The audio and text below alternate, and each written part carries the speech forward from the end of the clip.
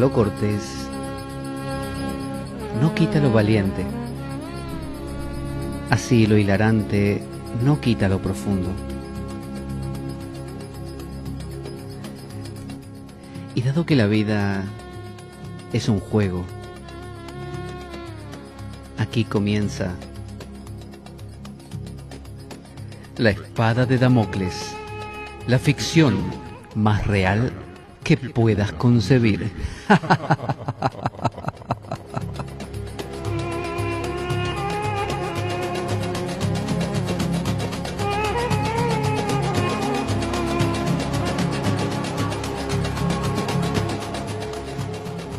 espada de Damocles es un programa que por mera falta de objetividad cree ser diferente.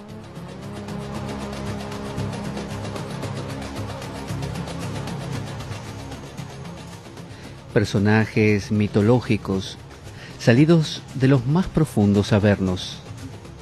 Leyendas escabrosas y sin sentido. Curiosidades inquietantes e inútiles e historias antiguas, malversadas por nuestra incapacidad de entendimiento. Y cuentos, cuentos carentes de profundo significado.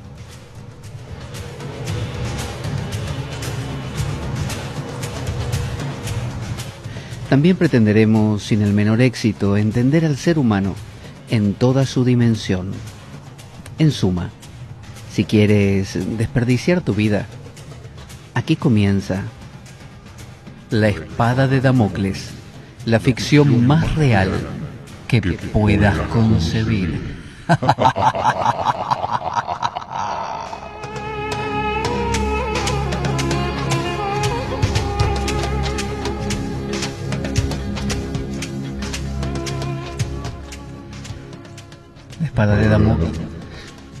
La Espada de Damocles se emite todos los domingos de 3 a 5 de la tarde por la FM 107.3 Radio Cuca.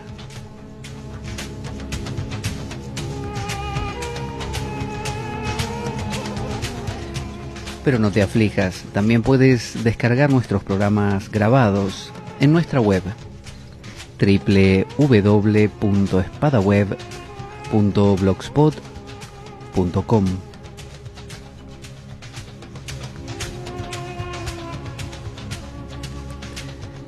Ven, acércate, que quiero decirte algo.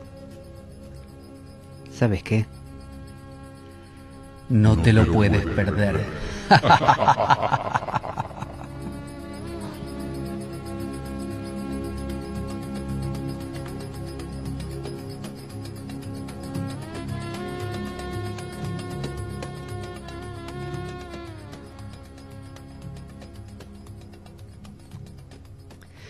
Buenas, buenas a todos. ¿Cómo están? Aquí Pablo Veloso les habla, o lo que queda de él, luego de una de las tantas pestes que me han aquejado, que me han este, poseído cual el más vil de los demonios. Pero aquí estoy, aquí estoy en pie otra vez, haciendo este programa que tanto me gusta y bueno, llegando a todas partes del mundo y hoy con una temática muy interesante.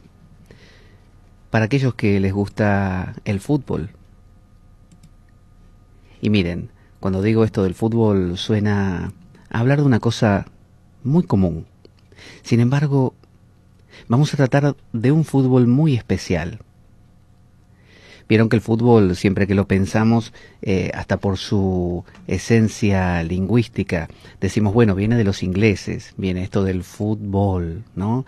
Sin embargo, quizás el fútbol sea algo más que eso. Quizás el, el fútbol tenga su origen, este juego de pelota, en algo mucho más ancestral.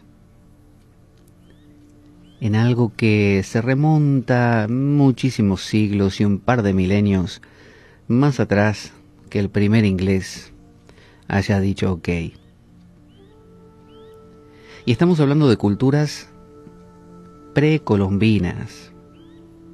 Precolombinas. Culturas que existieron antes de que Occidente pusiera su pie en América. Y una de estas culturas, ¿por qué no es la de los mayas? En Argentina, maya es lo que se llama acá en España bañador, lo que uno se pone para meterse en el mar. Así que siempre que decimos los mayas nos parece que son, por lo menos a los argentinos, nos parece que son este, unas personas que vivían en la selva y que siempre estaban en bañador, siempre estaban en malla, las mujeres en bikini y los hombres con algunas bermudas o, o alguna malla más corta. Sin embargo, vamos a hablar de otros mayas, que son la cultura maya o maya de Centroamérica, centrada especialmente en la zona de Guatemala y el sur de México. Esta cultura que, que en realidad desapareció por mucho tiempo y fue reencontrada casi de casualidad cuando un, un hombre estaba ahí con su machete dándole a diestra y siniestra a cuanta liana se le cruzaba por el camino. Vio que, cuando a un hombre le dan un machete, es como cuando a un niño le dan una espada de, juguete, y hasta la siente como una prolongación de su virilidad. Así que el hombre lo que hace es, este, cuanta cosa se le cruza, sea que haya, haga falta cortarla o no, él le da con el machete igualmente. sea serpiente, sea liana, sea palito, o, sea por error persona que se cruzó justo en ese momento. Así que este hombre le estaba dando a las lianas y descubrió nada menos que las ruinas de una antigua ciudad maya. Y en esta ciudad sabe que se jugaba como juego principal. Y me gusta mucho esta cultura maya porque jugaban y les encantaba jugar. Pocas culturas hacen esto. Muchas culturas están basadas en la guerra, están basadas hasta en la religión, pero en el jugar, en el jugar, bueno, jugaban a la pelota. Sí, a la pelota, la misma que se juega hoy, solo que bueno, no, no era como la de hoy mismo. Hoy día es una especie de, de cámara eh, rodeada por un cuero que protege esa, esa cámara inflable o hinchable y, por eso es una pelota muy liviana que usted puede, digamos, cabecear un corner este, o, cabecear una pelota que viene eh, pateada directamente por el, el, arquero o el portero, como se dice aquí en España, y usted la agarra en media cancha o pasando la media cancha y puede igualmente cabecearla sin riesgo a tener una contusión o, o un derrame cerebral. Bueno, en la época de los mayas no pasaba así. Eran pelotas de caucho, y el caucho, usted sabe, es esta resina, esta sustancia que emanan este, ciertos árboles y árboles de caucho y justamente tienen la cualidad de rebotar porque es elástico. Pero las hacían de caucho puro.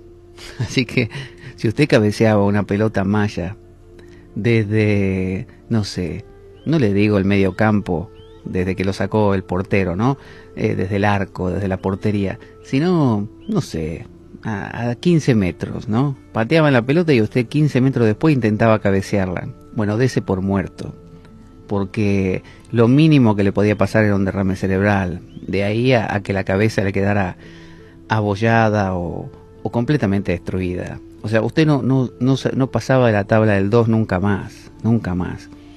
Así que, como eran sabios los mayas, justamente usaban protectores, y, bueno, las reglas eran diferentes, no se usaban los pies, tampoco las manos, pero sí se, utilizaban otras partes como la cadera, los muslos.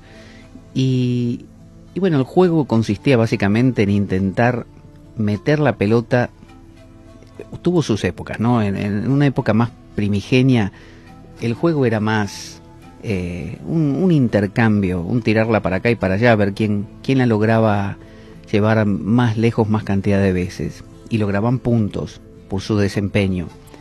Pero luego desarrollaron una suerte de anillo, de aro, y, tenían que meterla, como si fuera el, arco o la portería de hoy en día de un, de un partido de fútbol. Así que ve que, que las cosas que parecen nuevas no lo son. Y tengan en cuenta que, que si aquí en Europa se inventó el fútbol en Inglaterra, ya cientos de años antes, y un par de miles, como le digo, ya existía, y ya lo jugaban los mayas.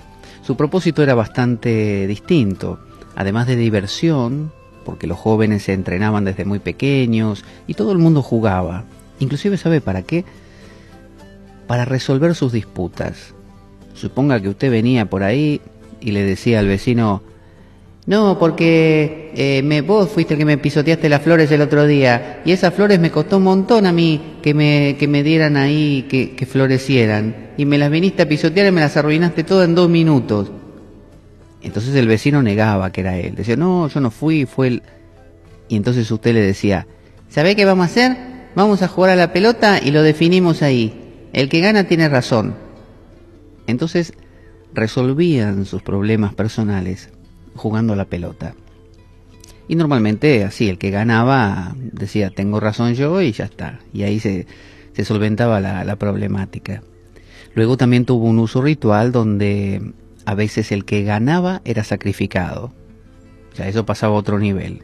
Normalmente, ¿qué pasa? Usted gana un partido de fútbol y a usted le dan una copa, se va a su casa feliz y se la muestra a todos sus amigos. No, en este caso no. En este caso, si usted ganaba, tenía el honor de que lo sacrificaran a los dioses. Un concepto diferente. Tenemos que acordar que la cultura maya no se regía por las mismas normas que, que el occidente cristiano.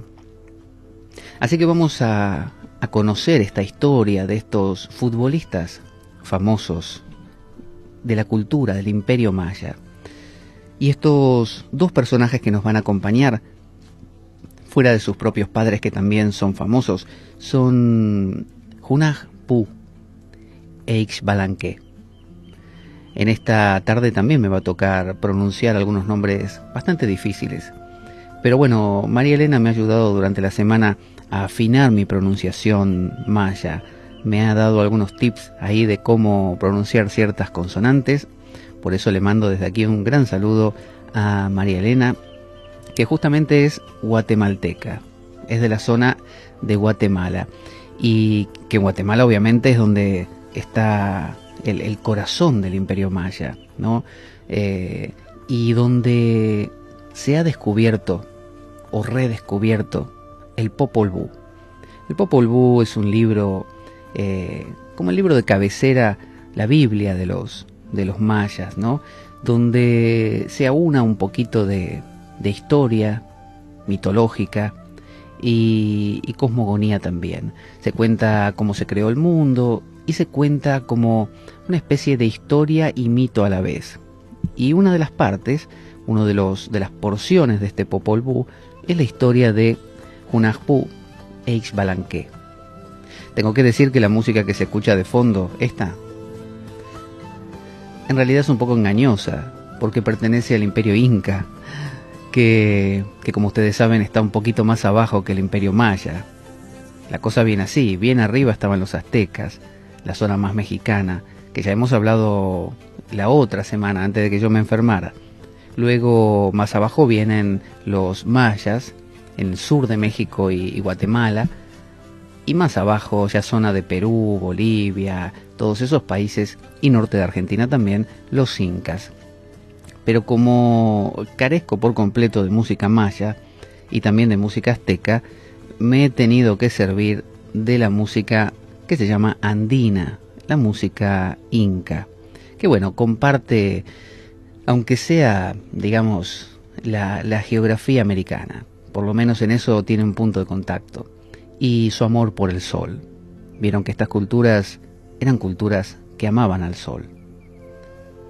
Así que, sin más preámbulos, vamos a, conectarnos con esta historia de Junapu y de Ixbalanque. También quiero dedicarle este programa a todos los amantes del fútbol. Yo sé que hoy en día se sentirán más identificados con Ronaldo, Cristiano Ronaldo y con Messi, o con este antaño con Pelé y con Maradona, o aquí en España con Butragueño también y otros grandes jugadores que ha habido.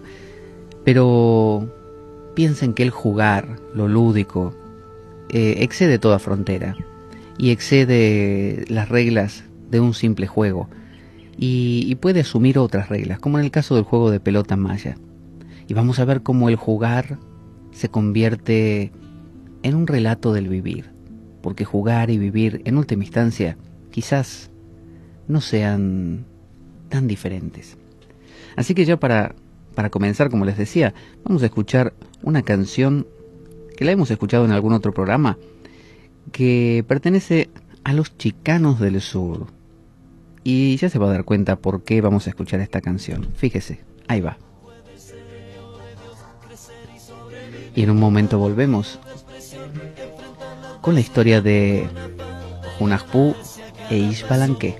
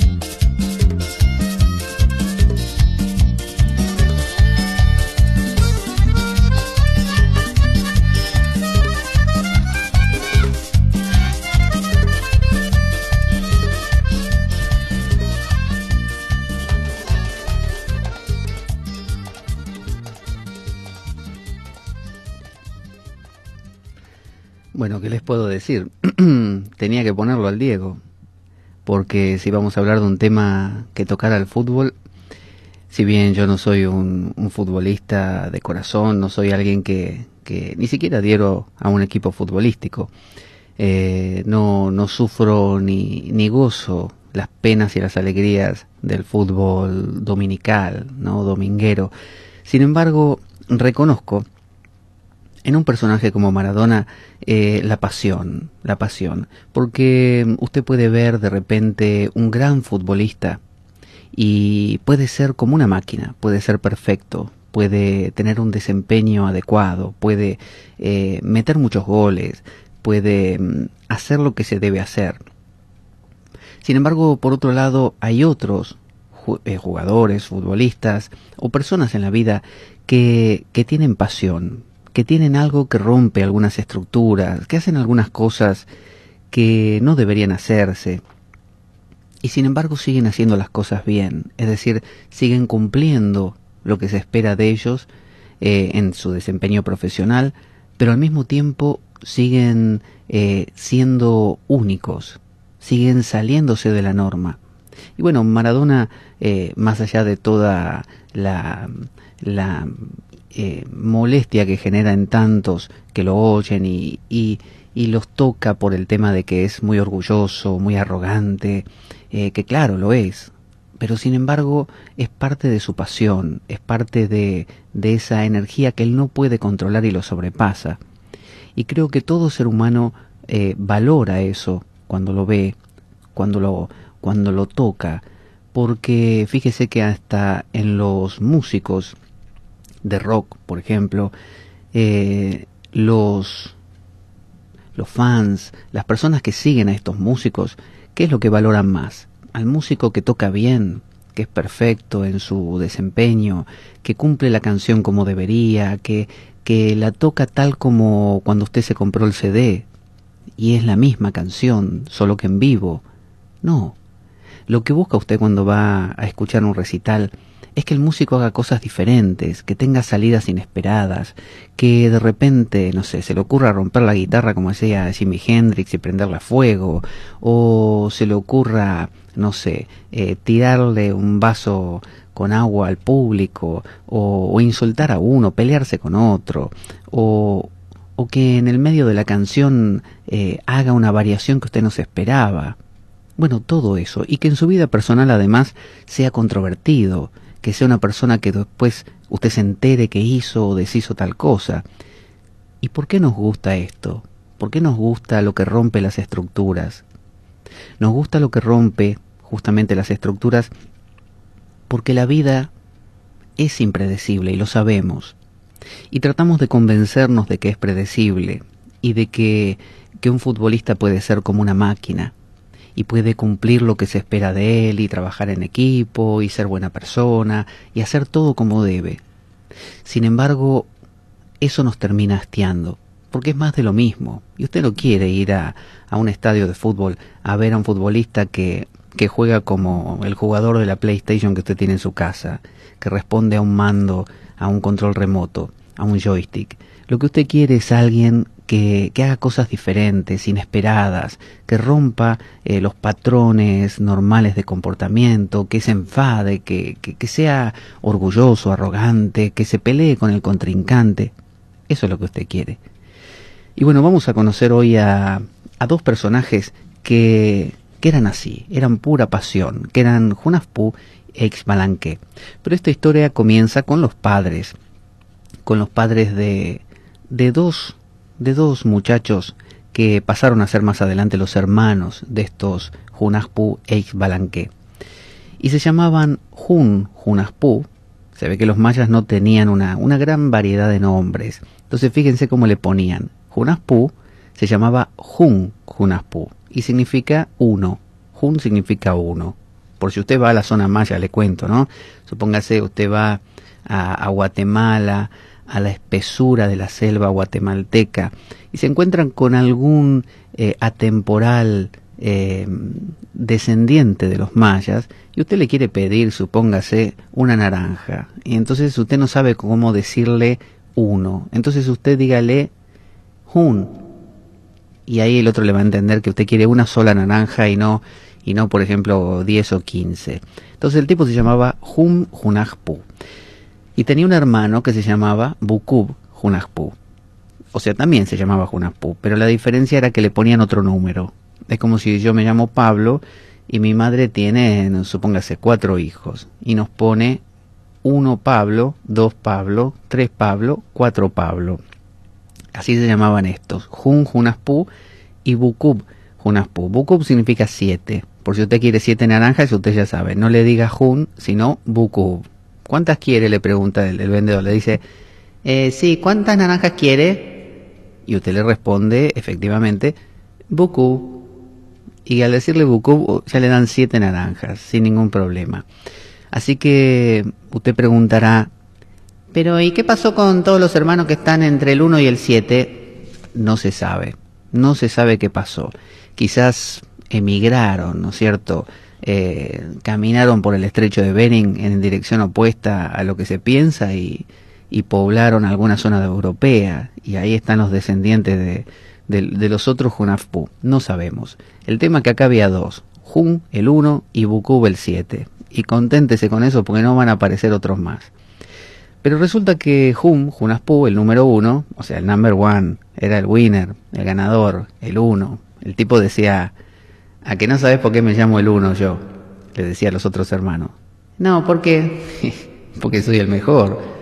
Yo nací primero, soy el más grande, soy el number one. Así que como era el número uno, obviamente cuando apareció la única mujer que había por la zona, que se llamaba Ixmucane, eh, ¿quién fue el que se la ganó? Y bueno, obviamente, el number one, Jun Junasku. Así que se casó con Junaspu, ¿no? Jun Junaspu. Y, y tuvieron dos hijos llamados Bats y Jun Chuen. Jun Chuen nuevamente usted me dirá, no tienen mucha imaginación, porque ¿por qué ponerle Jun a los dos? Bueno, porque le quieren poner uno, uno, le gustó, el tipo se llamaba uno, ¿cómo le va a poner a los hijos? Cinco, no, le pone uno también, entonces le pone Jun, o sea, uno, Bats, y Jun, Chuen, y listo, se acabó la historia. El otro, el siete, Bukub Junaspu, se quedó soltero. El tipo se quedó solo, Solari, y andaba por ahí por la vida, iba a los bares y tendría sus, sus chicas ahí, pero nada serio. Nunca consumó, nunca se casó, nunca tuvo hijos. Así que la cuestión era Jun, Junapku y Bukub como el tío, digamos. Bukub era el siete era el tío. Los dos hermanos Junbats y Junchuen hablaban todo el tiempo de Bukub como decían, ay mira, ahí viene el tío Bukub, el siete, y así. Estos dos hermanos tenían mucha facilidad porque fueron adiestrados en las artes de todo tipo.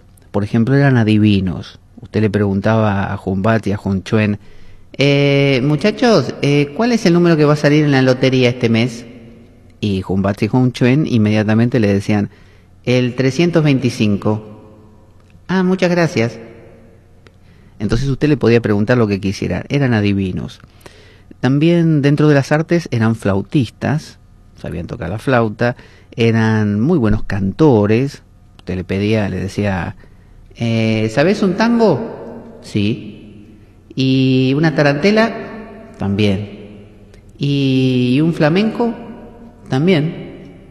Ah, pero ¿sabes tocar todo y cantar todo? Y sí, somos los hermanos Jumbat y Chuen. Conocemos todas las artes. Qué grande, ¿eh? Entonces eran pintores también, eran escultores, eh, eran orfebres, o sea, todo lo que usted se imagine los tipos lo hacían. Porque claro, tenían mucho tiempo y eran una suerte de semidioses también, imagínese, no eran como usted o como yo que, que para aprendernos a ser escultor nos rompemos los dedos con el martillo y el cincel. No, los tipos eran semidioses, entonces digamos que, que aprender escultura les llevaba 40 minutos más o menos y jugaban a la pelota todo el día. Porque si usted es semidios, una vez que aprendió todas las artes, que le llevó poco tiempo, ¿qué hace? Y bueno, depende de la cultura a la que pertenezca, hace algo. Bueno, en este caso juegan a la pelota. Porque ¿qué hace un maya? Usted deja un maya solo un rato, ¿no? Y el maya entra a mirar para todos lados, entra a mirar por el rabillo del ojo, a revolver cuanta piedra encuentra, porque lo que busca un maya es una pelota. un maya sin pelota se siente desnudo. El maya necesita una pelota. Entonces Jumbat y Junchuen se juntaban con Jun Junaspu, su padre, y Bukub Junaspu, su tío, y armaban un partido. ¿Sabe qué? Eran dos y dos, porque los partidos de los mayas no, no eran once contra once. No eran tan complicados los mayas. En sus canchas jugaban dos contra dos o, grupos así reducidos, tres contra tres o cuatro contra cuatro, pero no pasaba de eso. Y, y la cancha inclusive tenía una pendiente, digamos lo que serían las paredes de la cancha estaban en pendiente, de manera que si la pelota eh, se les iba muy alto, bajaba otra vez por la pared y la tenían ahí y sobre todo rebotaba. Así que ellos le daban a la pelota con sus protectores de cadera, de rodillas y todo eso, así que la tenían muy muy clara, porque le cuento que los golpes con la pelota eran terribles. En la época de la colonia, los sacerdotes cristianos contaban cómo muchos de los jugadores del juego de pelota maya eh, morían, porque no porque los sacrificaran, sino porque de repente venía una pelota volando, imagínese el tanto decisivo, el partido estaba peleado y ese era el tanto que definía si ganaban o perdían. Entonces usted veía volar la pelota de caucho, ¿no? Venía como a, a 3, 4 metros en el aire, desde arriba, al estilo de, cañonazo más o menos, ¿eh? porque era una bola de caucho negra. ¿Y usted qué decía? Usted pensaba para sí mismo, si yo no la, no la agarro y no la golpeo, eh, vamos a perder. Y mis compañeros me van a matar. Pero si la golpeo me va a hacer percha. ¿Qué hago? Y bueno, en muchos casos eh, tragaban saliva y le daban un caderazo a la pelota. Pero imagínense la fuerza de la pelota viniendo más la fuerza de la cadera que, que iba al encuentro de la pelota, le dejaba a veces contusiones muy muy grandes donde arruinaban órganos por completo. Imagínense que le pegue en el vientre, en la zona de la cintura, porque usted tampoco es un, cirujano. Es decir, la pelota viene y usted intenta darle con, con el hueso de la cadera, ¿no? Pero imagine que no, y le pegó en la cintura y le dio en un riñón. Lo mató, lo mató. Bueno, había muchos que morían así, perdían ojos. Era un juego, digamos que no para cualquiera. Yo no sé si en esa época me hubiera animado, me hubieran dicho mis amigos, vamos a jugar un, partidito. Yo creo que no. Yo creo que pasaba y le decía, eh, no, ¿sabes qué pasa? Em, eh, tengo un examen mañana y no puedo. Me encantaría, ¿eh? Me encantaría. Mañana voy, ¿eh? Mañana después del examen voy con ustedes. Hasta luego, hasta luego, sí.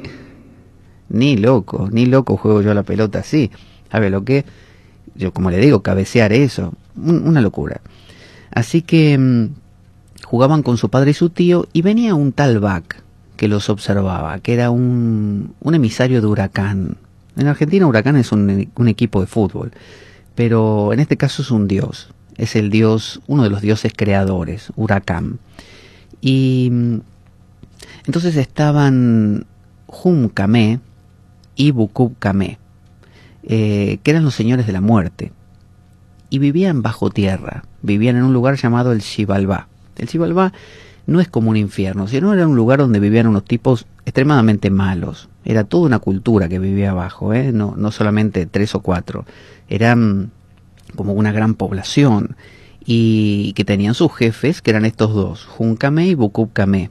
Usted dirá, pero Junkame y Bukub Kame se llaman igual que Jun Junaku y Bukub Junaku. Sí, muy detallista, muy bien. Se ve que los mayas el 1 y el 7 les encantaban. Entonces, así como a Jun Junaku y Bukub Junapu le pusieron 1 y 7, a Junkame y Bukub Kame, que eran los, los señores del Xibalbá, de, la muerte, les pusieron también 1 y 7. Así que se llamaban así. Por eso le digo, acostúmbrese, el 1 y el 7, acá es así. Y, y claro, los señores de la muerte se dedicaban a traer pestes a la humanidad. De repente eh, estaban aburridos, subían un rato a la tierra de los vivos y enfermaban a uno, como a mí me enfermaron la semana pasada que estuve con fiebre y esas cosas, eh, los malditos Junkame y Bukukame, sabiendo que yo iba a hablar de estos temas que, que les tocan una fibra muy íntima a ellos, claro, subieron y me tocaron a mí. y, y me enfermaron. Bueno, esto hacían con la gente, con todo el mundo. A uno lo enfermaban, a otro lo mataban y de repente lo encontraban en, en el camino muerto sus familiares. Así que indistintamente, indiscriminadamente, tenían la potestad de dañar a la humanidad. Y así se entretenían. Y, la cancha de fútbol, el, campo de juego, estaba justo encima de donde dormían Junkame y Bokukame. Así que imagínese los hermanos, eh, Junbat, Junchuen, con su padre Jun Junapku y su tío Buku Junapku, ¿qué hacían? Jugaban al fútbol, pero como le digo, pasionalmente, así como Maradona. Estaban que, eh, eh pasámela, pasámela, pasámela, dale, eh, eh, no, no fue, no fue. Y así, ¿no? Se peleaban porque es que fue tanto, que no fue, que fue gol, que no. Y la pelota encima cuando rebotaba, imagínese, pelota de caucho, era así. Era todo el tiempo eso. Entonces, los señores de Cibalba entraron a molestarse, decían, ¿qué es ese ruido que está ahí arriba? ¿Qué es esa pelota todo el día ahí golpeando? Que no se deja dormir a la gente acá, ¿qué está pasando? Entonces, los señores de Cibalba se molestaron mucho y, y, mandaron unos mensajeros. Los mensajeros de los señores de Cibalba eran unos búhos. ¿Vio el búho? Ese que hace... Uh, uh, el búho el de siempre, como se dice aquí en España, el de toda la vida, el búho. Y los mandaron a, la a los, eh, tanto a los hermanos Jumbatz y Conchuen, como también a, su tío y a su padre, a que le avisaran que tenían que ir al mundo del Xibalbá a jugar a la pelota con los, con los señores de la muerte. Básicamente porque los querían limpiar, los querían matar. Era la manera de, de convencerlos de que bajen, como diciendo, vengan acá a jugar con nosotros y cuando bajen les vamos a cortar la cabeza, pero en dos minutos. Así que mmm, los eh, Jun Junafku y Bukub Junafpu, ya se me traba, ¿ve lo que? Jun Junafpu y Bukub Junafpu, ¿qué hicieron? Guardaron la pelota, como, como debe hacerse, la pusieron en una parte de su casa eh, que quedaba bastante alto en el techo, y para que no se perdiese y se fueron a Xibalbá. Porque usted sabe lo que costaba una pelota en esa época de los mayas. Juntar todo ese caucho y tener una pelota, había que, tener este dinero y, poder para tener una de esas pelotas. Así que bajaron al mundo del Xibalbá, porque queda abajo. Y, y, encima es muy empinado, es como un, un descenso muy. con una pendiente muy grande. Entonces lo primero que se encontraron fue un río de podredumbre. Iban ahí Jun Junaspu y Junaspu y decían, ¿qué olor que hay acá? ¿Qué es esto? A ver, encendé algo, dice. Encendé una, una vela. Ah, con razón. ¿No te das cuenta? ¿Cómo pueden vivir con esto? Es un río de podredumbre. Mira el olor que tiene esto. Es asqueroso. Bueno, vamos a pasarlo lo más rápido posible. A ver. Dale, dale, camina, camina apúrate, ¡Uf! esto no se aguanta. Pero ¿qué hay acá adentro? ¡Uf! ¿Qué come esta gente? Siguieron avanzando y se encontraron con un río de jícaras. ¿Qué es una jícara? Usted se preguntará. Bueno, una jícara es como una especie de calabaza, pero eran jícaras eh, que tenían eh, filo, eran filosas, como dentadas. O sea que, imagínense un río de jícaras, un montón de jícaras que vienen bajando cual, cual agua de un río, y usted, don, donde lo enganchen, lo cortan en pedacitos, lo, hacen, lo hacen este, girones. Entonces intentaron esquivar todo lo posible, bueno, zafaron bastante bien, lo fueron logrando y, y evitaron que las jícaras los, los desgarren. Siguieron avanzando y, y le dice Jun Junaspu a, a Junaspu, Che, Buku, sí, ¿qué pasa? Eh, ¿Vos te lastimaste? No, ¿por qué? No, porque acá hay un montón de sangre. Ah, no, porque estamos caminando en un río de sangre ahora. Ah, es eso, no, no, no te preocupes, sigamos. Había un río de sangre. Y después vino un río de agua. Al final vino lo normal, digamos, un río de agua. O sea, ahí nos espantaban. Y, y, luego de los cuatro ríos llegó un cruce de caminos. Pero normalmente en los cruces de caminos vio que hay dos. Bueno, en este había cuatro. cuatro cruces de, o sea, un cruce de cuatro caminos. Y lo que le pasa a uno cuando se encuentra con cuatro caminos es que le, le asalta la duda, ¿no? No es que lo roban, no es que lo asaltan en el sentido de robar una señora llamada la duda, no, es que le aparece una incógnita que consiste en pensar que alguno de los cuatro caminos será el correcto, que ya de por sí es una premisa gratuita, porque nadie dijo que alguno tendría que ser el correcto, pero bueno, uno lo piensa así. Y entonces uno dice, cuatro caminos, ¿y cuál tomamos? ¿El de la derecha adelante? ¿El de la izquierda adelante? ¿El de atrás de la derecha o el de atrás de la izquierda? Ay, mirá, tienen colores. Son negro, blanco, rojo y amarillo. ¿Y cuál agarramos? ¿Y qué sé yo? Y, a ver, vamos a preguntar al aire. Caminos, ¿cuál es el correcto? Entonces el camino negro, que también lo llamaban el negro, eh, cariñosamente, habló y dijo así. Fíjense, espere que le voy a poner voz de camino negro. Aguanta un momento ahí. Ahí viene. Yo soy el camino negro. Sé que ustedes quieren saber hacia dónde deben dirigirse, pero confíen en mí. Sigan el camino negro, mi camino. Este es el correcto. Síganme. No los voy a defraudar. Y así el camino negro los convenció de que el suyo era el camino adecuado para un poquito más adelante darse cuenta de que los habían engañado, pero de acá a la China. El camino negro era un mentiroso. Y, pero era tarde, ya los habían engañado. Así que la primera de las pruebas eh, la perdieron. Entonces cuando llegaron al Xibalbá mismo, em, aparecieron eh, Juncamé y Bucubcamé. Entonces los hermanos, que eran muy eh, respetuosos, muy correctos, lo primero que hicieron es saludar. ¿Cómo le va, señor Juncamé? ¿Cómo le va, señor Bucoucamé? ¿Cómo le va, señor Juncamé? ¿Cómo le va, señor Bucoucamé? Así dijeron cada uno de los hermanos. Y de repente, de, de ahí del fondo, se escuchó...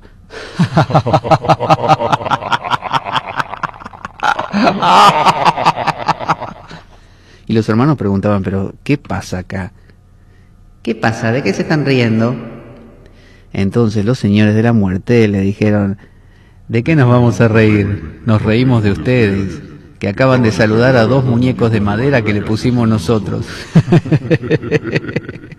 se la creyeron. No éramos nosotros, eran dos muñecos de madera. Parece que los señores del Chivalbala tenían como un humor muy raro, muy raro, que les causaba gracia ese tipo de cosas. Así que los hermanos primero eligieron el camino mal y luego saludaron a los muñecos de palo. Entonces los, los señores del Chivalba, este, como para remediar un poco esto, le dijeron, eh, bueno, discúlpenos. Qué tonto que son. Eh, no, no, digo, eh, ¿quieren sentarse? Deben estar cansados de un viaje tan largo. ¿No quieren sentarse? Aquí hay unos asientos, unos asientos de piedra. Pruébenlos.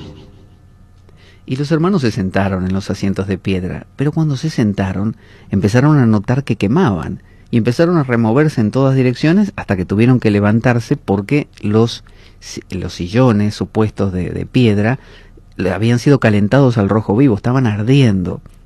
A lo cual, nuevamente, los, los señores del Chivalba dijeron, se quemaron. Qué tonto que son.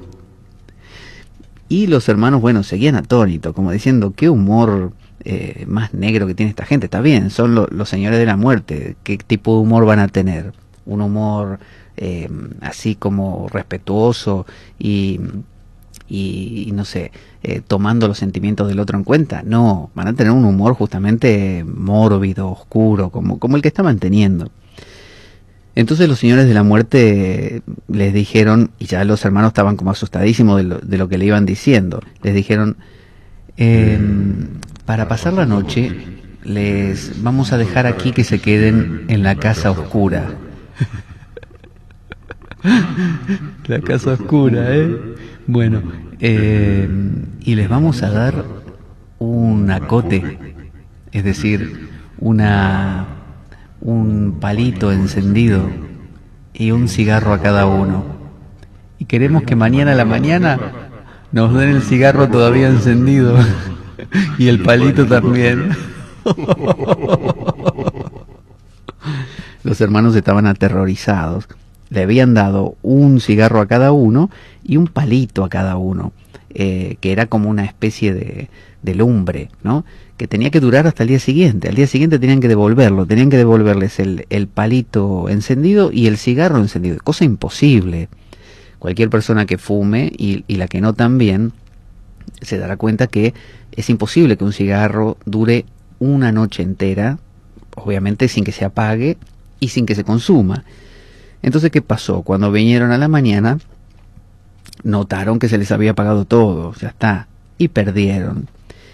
Las siguientes pruebas que tenían y que no pudieron llegar ni siquiera a probar eran la casa helada, que ya la veremos más adelante, la casa de los tigres también, la casa de los murciélagos, o como otras personas prefieren, murciélagos, y la casa de las navajas. Así que ninguna de estas pudieron, de estas pruebas pudieron tener el gusto de, de, de transitar, porque perdieron en la primera misma.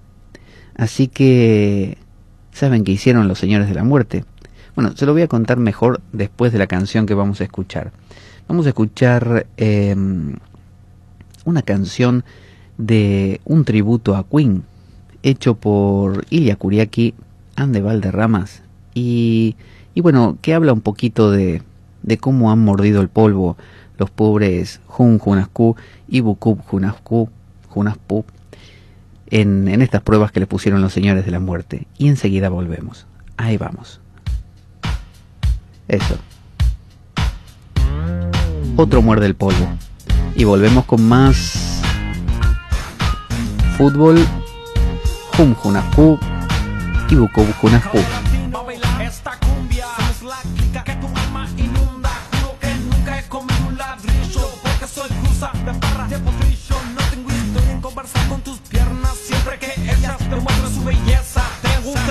en la realeza. Tengo la gloria, no he besado a la reina. Porque al decir no va más me entregaste un lugar donde respirar es elemental. Yeah, si el fondo solo es muerte, no quiero ser el equivalente a un alma que está viva, pero solo por suerte.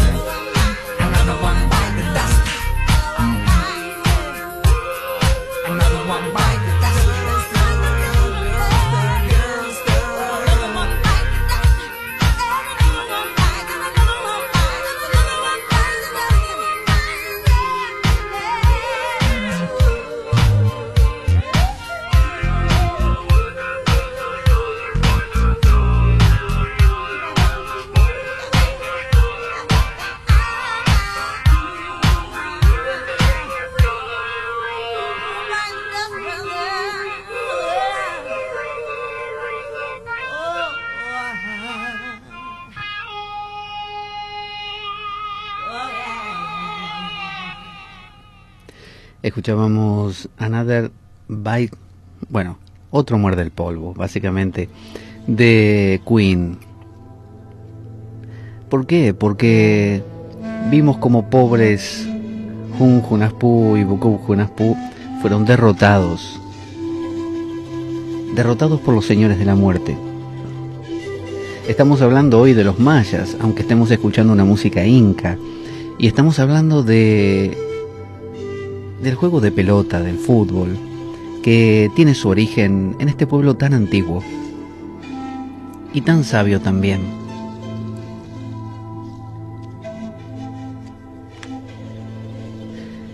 Volviendo a nuestra historia, resultó que, que fueron derrotados los hermanos, Jun Junafpu y Bukub Junafpu. Así que, ¿qué sucedió? Los señores de la muerte se encarnizaron con ellos y decidieron decidieron matarlos. Los mataron porque era su plan original, deshacerse de ellos. Y los enterraron en la cancha de fútbol. Porque dijeron los tipos, ¿dónde podíamos en- enterrarlos para que no molesten? Y qué sé yo, enterrarlos en la cancha de fútbol. Ah, sí, es buena idea, porque ahí nadie se va a dar cuenta. Además, como la gente está saltando todo el día, lo va apisonando y, y nunca van a, a notar. Claro, muy bien, eso voy a hacer. Ahí los enterraron. Salvo a Jun Junasku, Junaspu, que mm, decidieron cortarle la cabeza además, porque cuando uno se ensaña, vio cómo es, una vez que usted mató a su peor enemigo, ¿qué hace? Y bueno, empieza a cortarle cosas, porque dice, eh, no me, la verdad que haberlo matado no me alcanzó, ¿eh? Yo quiero hacerle algo más. Sí, ya sé, pero no te das cuenta que ya está muerto, no siente nada, no tiene gracia. Y sí, pero ¿y qué hago yo? Yo ya lo maté y ahora lo tendría que haber hecho durar más. Y bueno, no sé, cortarle alguna parte. Y bueno, sí, le voy a cortar la cabeza. Dale, cortarle la cabeza. Entonces le cortó la cabeza. Y usted dirá, ¿y qué hizo con la cabeza? La puso en un árbol de jícaros.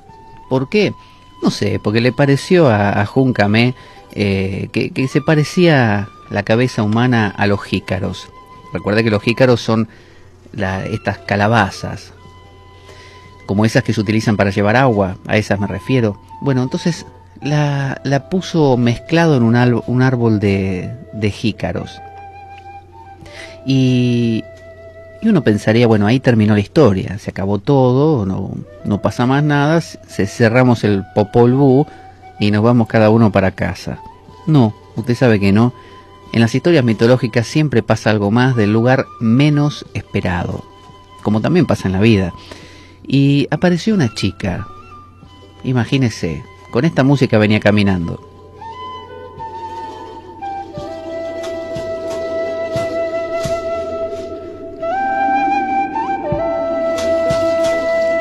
Ahí venía Ishkik, con un paso sensual, llevando agua en un cántaro para su casa. Y de repente pasó frente al árbol de jícaros, el cual estaba vedado por una prohibición justamente de Juncamé y Bukucamé que decía, al que se acerque a este árbol, eh, procederemos a, a realizarle las más terribles torturas y sufrimientos. Así que aconsejamos mantenerse a una prudente distancia, llámese eh, dos kilómetros y medio. Pero bueno, Ishkik no se puso a pensar en las consecuencias, simplemente se dejó llevar por esa curiosidad natural que usted y yo tenemos y que hace que las cosas eh, que no deben hacerse se hagan y que la historia sufra un vuelco, vuelcos a veces muy divertidos, por cierto. Así que Ishkik se acercó al árbol de jícaros y, y habló con él. Le, le dijo al árbol, Árbol de jícaros, ¿por qué está prohibido acercarse a ti? Y en ese momento la cabeza de, de Jun Junaspu, que estaba ahí colgada, es como que cobró vida con esa voz. vio que siempre la doncella, ¿no? la mujer, la, la vida misma palpitando, que está representada siempre en las mitologías en la mujer, eh, es como que mm, insuflan la posibilidad o crean la posibilidad de la nueva vida, como la Virgen María y Jesucristo. Entonces, eh, la cabeza de Junaspu recuperó algo de conciencia y le habló, y le dijo, eh, yo que vos me voy lejos de acá. ¿Por qué me tengo que ir lejos? ¿Cabeza? No me llamo Cabeza, me llamo Jun Junaspu. Ah, discúlpame, Jun Junaspu. Qué lindo nombre tenés, ¿eh? ¿Viste? ¿Te gusta? Me encanta, nunca lo había oído. Bueno, sí, me llamo Jun Junaspu. Y, si no querés tener problemas, yo te recomiendo que te vayas. Es que a mí me encantan los problemas. ¿En serio? Sí. Bueno, entonces hace así, mira, acércame tu mano, acá, a mi cabeza. Entonces, este, Ishkik acercó su mano suavemente y en ese momento se escuchó. ¿Qué me hiciste? ¿Me escupiste la mano? Sí, te escupí en la mano. ¿Por qué? Ahora vas a ver. Y cuando Ishkik intentó mirarse la mano para ver la escupida que le había proferido Jun Junaspu, que era lo único que podía hacer, imagínense, usted es una cabeza, nada más. No puede agarrar a alguien por la muñeca, no puede, no podía hacer nada con Ishkik, más que escupir, que hace una cabeza para, para conectarse con otro. Si está muy cerca le da un beso, pero como no podía, le escupió. Y cuando Ishkik se miró la mano para ver, digamos, el talante que tenía ese escupitajo, a ver qué tipo de escupitajo era, se había, había desaparecido, se había reabsorbido, porque este era un escupitajo muy especial. Tenía dentro de sí la simiente de Jun Junaspu. Entonces Jun Junaspu le dijo a, a, a Ishkik, a partir de este momento mi simiente está dentro tuyo, preciosa, y vas a tener dos hijos, a los cuales vas a llamar Junaspu. Yo sé que no es muy original, ¿no es cierto? Porque yo ya me llamo Jun Junaspu, pero es para seguir la tradición familiar. Y al otro le vas a poner, para variar un poquito, Ix, Ixbalanque. ¿Qué te parece? Y bueno, si usted lo dice, sí, lo digo yo. Así que Junaspu e Ixbalanque, que significa el, el gran mago y el pequeño brujito. ¿No te parece tierno? Sí, la verdad que sí, me encanta. Voy a ir a mi casa y le voy a contar a mi padre. Bueno, que tengas suerte. Hasta luego, cabeza, de- eh, digo, Jun, Jun Junaspu. Hasta luego. Entonces, eh, se dirigió a, a casa de sus padres y, mm, y le contó, le dice, ay papá, no sabes lo que me pasó, hoy iba caminando, ¿viste el árbol de jícaras que hay? Eh, sí, el árbol que está prohibido acercarse. Sí, ese. ¿Qué pasó? Nada, me acerqué y bueno, eh, me escupió en la mano. ¿De qué? Me escupió en la mano. ¿Cómo que te escupió en la mano? Sí, me quedé embarazada y ahora voy a tener dos hijos que se van a llamar Junafku, Junaspu eh, Ixbalanque. ¿Qué tal? Vos estás loca, me estás mintiendo. Te estuviste revolcando con el vecino de al lado otra vez. No, papá, te lo juro. Es que me escupió una jícara. Sí, ¿vos te crees que me voy a creer eso? ¿Que una jícara te escupió en la mano y te quedaste embarazada? ¿Qué te crees? ¿Como la Virgen María, que vino el Arcángel Gabriel? ¿Qué te crees que soy yo?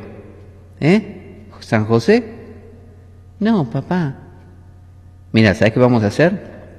Por mentirosa te vamos a sacrificar. Búhos, vengan a mí. Sí, señor. Mire, llévense a esta mujer que es mi hija, pero a partir de, este momento es una ramera mentirosa. Llévensela lejos, sacrifíquenla y tráiganme su corazón. ¿Cómo no, señor? Así que los búhos levantaron vuelo, llevándose enganchada, digamos, con sus patas a, a que mientras iba volando les iba diciendo a los búhos, Eh, búhos, eh, yo les quería explicar que yo no, no tengo nada que ver, a mí me escupió una jícara. Sí, claro, te escupió una jícara y quedaste embarazada, ¿no? Sí, pero es en serio, se los digo de verdad. Y parece que Ishbalanque fue contando la historia de una manera tan tan de corazón que los búhos se aflojaron. Porque un búho es así, un búho parece duro, vio cómo es, que está todo el día "Uh, uh". Y, y en realidad no, si usted le charla un rato al búho, el búho afloja. Y el búho empieza a, a reírse con usted y, y, y cambia la postura, no esa postura rígida y con los ojos grandes que tiene siempre. Así que los búhos decidieron ayudar a Ishbalanque. Ishbalanque les dijo, ¿saben lo que podemos hacer para que mi padre no se dé cuenta? Miren, vamos a acercarnos a este árbol y voy a sacar un poquito de la resina que tiene, que es igual que sangre.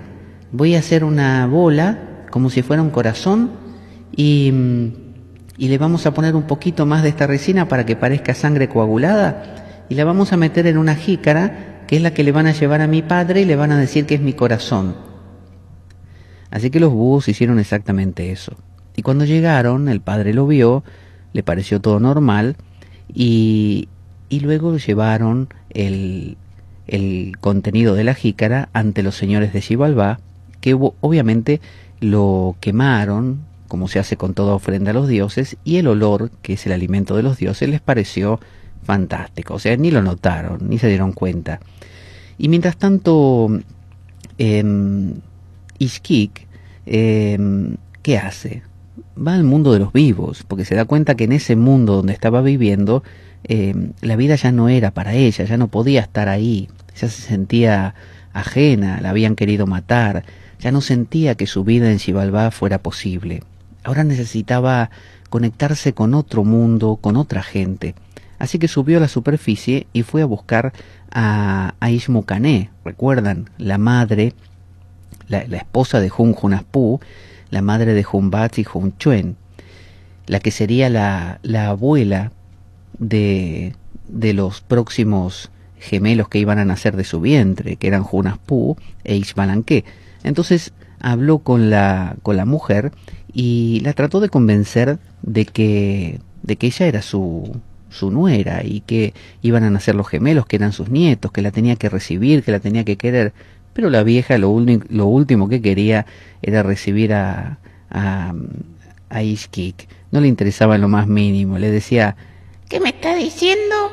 ¿Que yo soy la, la abuela? No, estás loca, nena. Andate a tu casa. Acá no tenés nada que hacer. Hasta luego. Así le decía la vieja. Entonces, ella insistió, porque obviamente que a dónde iba a volver, ya no tenía lugar para ir. Y, mm, y bueno, la, vieja aceptó, pero los trataba muy mal. Tanto le molestaba inclusive que, que lloraran, porque lo- los niños una vez nacidos, porque nacieron ahí nomás, entraban a llorar, pero de una manera desconsolada, y no había forma de pararlos. Entonces, los hermanos Humbats y Hunchuen, que les tenían mucha bronca, mucha envidia, aprovecharon a torturarlos, porque la abuela dijo, A ver, nena, esos nenes, esos chicos me están volviendo loca. Sácamelos de acá, llévamelos a la calle y hacé algo porque yo así no puedo dormir. Entonces los hermanos aprovecharon y los hicieron pasar, por ejemplo, una noche en un hormiguero, donde las hormigas los picaban, pero los hermanos Junaspu e Ixbalanque se las arreglaron para sobrevivir. Otra noche los pusieron en, en un arbusto de espinas y los hermanos igualmente lograron sobrevivir. Así que mm, eh, también los torturaban y los, lo- los obligaban a cazar. Es decir, como los hermanos Humbats y Hunchuen eran como, como una especie de, que le puedo decir, de larvas. Eran tipos que no trabajaban, estaban todo el día en el paro y mm, se rascaban el ombligo, se sacaban la pelusa del ombligo, que es una tarea eh, muy ingrata, ¿no? Y estaban todo el día en eso, además de jugar a la pelota. Entonces los mandaban a cazar a Junaspu y a Ixbalanque y con sus cerbatanas para que les trajeran comida. Y cuando les traían la comida, lo, la comían y los dejaban mirando, no les compartían nada de su comida. Así los trataban y los trataron por años. y mientras tanto Ishkik siguió eh, viviendo con la abuela, con Ishmucané y con estos dos eh, hermanos de, de, sus hijos. Así que mientras crecían los chicos, tenían que aguantarse a, a Hunbat y a Hunchuen. Pero cuando los dos hermanos crecieron un poco, urdieron un plan. Y el plan consistía en esto. Iban a decirle a Hunbat y a Hunchuen que algunos de los pájaros que habían cazado para traer para la comida se les habían quedado en un árbol muy alto. Y si podían ayudarles a bajar los que ellos no podían. Entonces primero fueron a la abuela y se lo dijeron. Y la abuela dijo, que se quedó muy alto en el árbol. Y bueno, ¿y no lo pueden bajar ustedes? No, abuela, no podemos porque queda muy alto y nosotros somos pequeños para subir tan alto. Bueno, está bien. Un bat, un chuen, vayan. Ayuden a sus, a sus hermanos. Bajen esos pájaros de ahí arriba. Para la cena. La abuela tenía la voz así toda gastada porque se ve que le daba mucho al tabaco y no sé si tomaba este alguna vodka no sería, ¿no? Porque no había ahí. Pero bueno, hay, hay otra otra bebida que ahora no me puedo acordar, pero que es propia de esas zonas. Bueno, le daba mucho a eso. Eh, para pasar el tiempo, para matar el tiempo. Así que tenía la voz muy desgastada. Y Jumbat y Junchoen fueron al árbol, medio con desgano, vio cómo es. Y, y dijeron, a ver, ¿dónde están los pájaros esos? Eh, están ahí arriba, muy alto. Bueno, vamos a subir. Vení, Junchuen. Y los dos subieron. Empezaron a trepar y fueron muy altos. Pero a medida que subían, gracias a los poderes mágicos de, de, Jun, de Junaspu y de Ishbalanque, el árbol iba creciendo en anchura y en altura, con lo cual se les hizo muy difícil poder bajar luego. Entonces los hermanos desde arriba se dieron cuenta que algo raro pasaba y dijeron, ¿y ahora cómo vamos a bajar? ¿Qué está pasando? Y los hermanos desde abajo les dijeron, alárguense el taparraba un poquito por atrás, que eso les va a ayudar a darles equilibrio para que puedan bajar. Y apenas se alargaron el taparrabos por detrás, el taparrabos se les convirtió en una cola y ellos se convirtieron en dos monos. Monos, literalmente. Entonces volvieron los hermanos con la abuela y le contaron todo, que se habían convertido en monos y que ellos no sabían ni por qué, cosa que era mentira, lo habían hecho ellos, como una venganza para sacárselos de encima. Entonces la abuela les pidió por favor que se los trajesen y, y, que ella quería ver qué había pasado. Entonces ellos le dijeron que se lo podían traer eh, tres veces nada más y que la única condición para que se pudieran convertir otra vez en humanos era que la abuela no se riese. Entonces empezaron los hermanos a tocar unos instrumentos, eh, Junaspu e Ishbalanque, y, y y Junchuen, que eran monos, vinieron llamados por esos instrumentos y empezaron a hacer monerías delante de la abuela. Y la abuela empezó...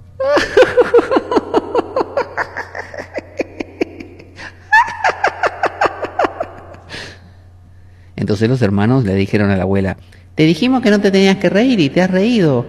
Ah, sí, me he reído. Tráigamelo de nuevo, que esta vez no me voy a reír. Entonces se lo trajeron por segunda vez tocando los instrumentos y empezaron a saltar, a hacer monerías, se tiraban del pelo mutuamente, porque eran monos. Y la abuela empezó...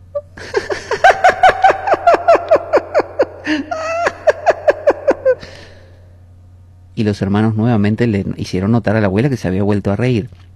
Y así una tercera vez. Y la abuela se volvió a reír. Así que los hermanos dijeron, no tenemos opción, ahora se quedarán monos. Ahora tus hijos somos nosotros y, y tenemos que... Eh, vas a tener que acostumbrarte a nosotros y nosotros vamos a hacer todas las tareas, todas las tareas de la casa. Así que nosotros vamos a hacer a partir de ahora tus hijos. ¿Qué te parece? Así que a partir de ese momento tuvieron que, que hacer las tareas que se hacían en la casa. Por ejemplo, tenían que cosechar, tenían que ir al campo a trabajar. Y resultó que Jonas Pú e Ishmalanque se dieron cuenta que no les gustaba, no les gustaba trabajar en el campo, que eran este, algo, que eran ellos muy perezosos. Entonces, al tener que trabajar, convencieron con sus artes mágicas a, a la azada, azada con Z, y, y algunos otros instrumentos y herramientas de campo a que trabajaran por ellos. Entonces el hacha cortaba árboles, la azada también hacía sus tareas, y en poco tiempo lograron hacer una gran tarea en ese campo. Volvieron a su casa y al día siguiente, cuando volvieron a ir, descubrieron que todo estaba igual. Igual que antes de haber empezado el día anterior. O sea que alguien durante la noche había vuelto a enderezar los árboles, había restituido este, todo el maíz que ellos habían cortado y cosas por el estilo. Entonces decidieron quedarse por la noche para descubrir quién era el que estaba haciendo todo esto. Y eso hicieron. Se quedaron así subrepticiamente y velaron para ver quién era el que había vuelto a poner las cosas en su lugar. Y descubrieron que eran los animales, que aparecían y decían, a ver, león, eh, ayúdame acá con el árbol, que tenemos que enderezarlo. Ya voy, rinoceronte. Eh, Puma, vení. Eh, vos que sos más rápido, eh, apurate y tirá del carro este que tenemos que llevar todo el maíz y ponerlo todo en su lugar. Entonces descubrieron que eran los animales e intentaron, apareciendo, mostrándose, intentaron atraparlos. Pero claro, les fue imposible. Eh, todos corrían en todas direcciones, no pudieron agarrar ni a uno. Y al único que sí lograron atrapar fue al ratón. Atraparon un pequeño ratoncito. Y para torturarlo, lo agarraron así del cuello y para torturarlo le quemaron la cola. Porque usted se preguntará, posiblemente desde pequeño, pequeña, eh, ¿por qué es que el ratón tiene la cola sin pelo? ¿Por qué no tiene pelo el ratón en la cola?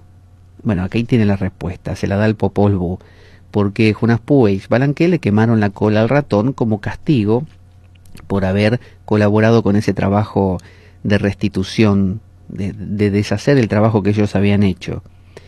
Y, bueno, lo iban a matar al ratón. Pero el ratón, usted vio que el ratón no es, no es tonto, el ratón es muy vivo. El ratón entonces dijo, Un momento, un momento, ¿cómo que me van a matar?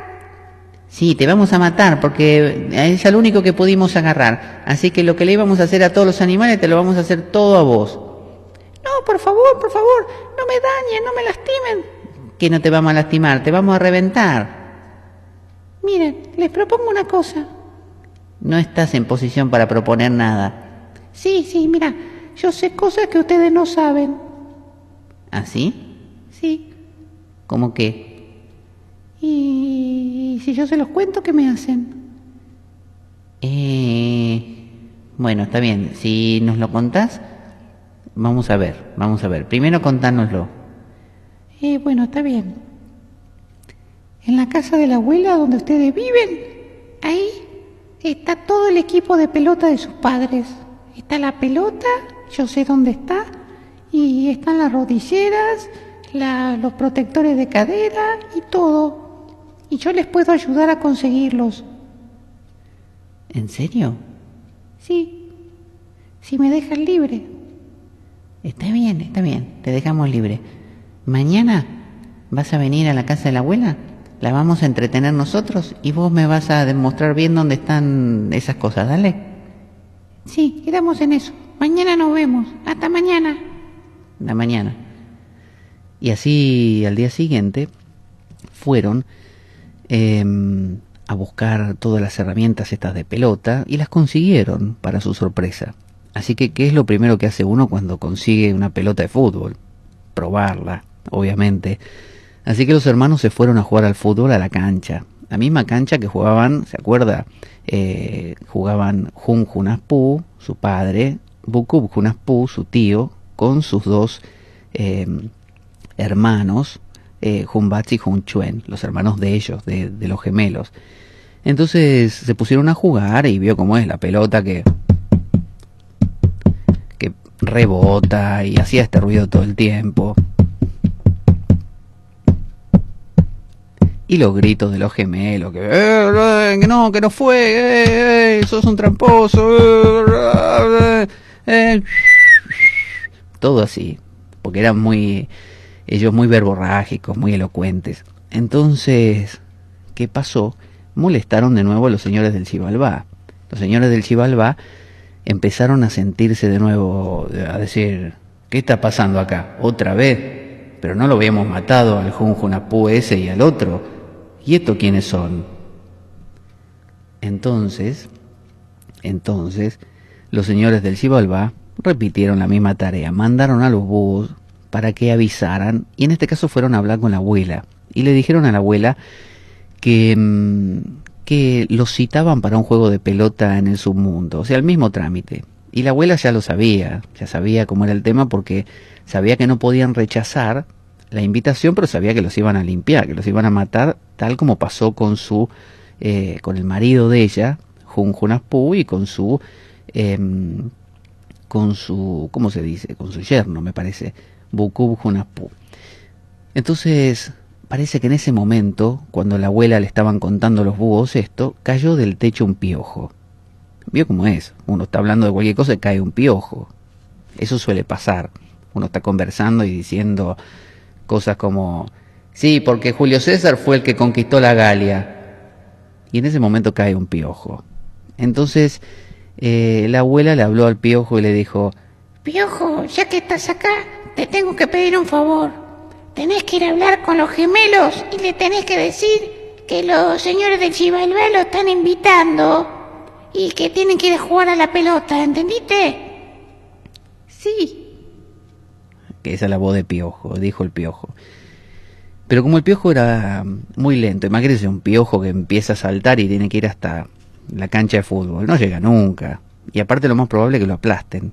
Entonces, em, un sapo que estaba por ahí se ofreció a comerse el piojo, para llegar más rápido. Es como que usted se sube a un coche, bueno, el piojo se subió al, al sapo. Y, y entonces eh, el sapo entró a saltar, pero tampoco muy rápido, porque el sapo es algo chiquito, no es como una rana que es grande, es pequeñito. Entonces vino una culebra que se mueve más rápido y que a veces puede nadar también, y se comió al sapo, como para acelerar el trámite, digamos. Y entonces un gavilán que había por ahí dijo, eh, miren, estuve mirando todo lo que hicieron, el piojo que fue comido por el sapo y, y el sapo comido por la culebra, me parece todo muy bien, pero como yo puedo volar, yo puedo llegar mucho más rápido, así que si no les molesta, eh, yo me voy a comer a la culebra.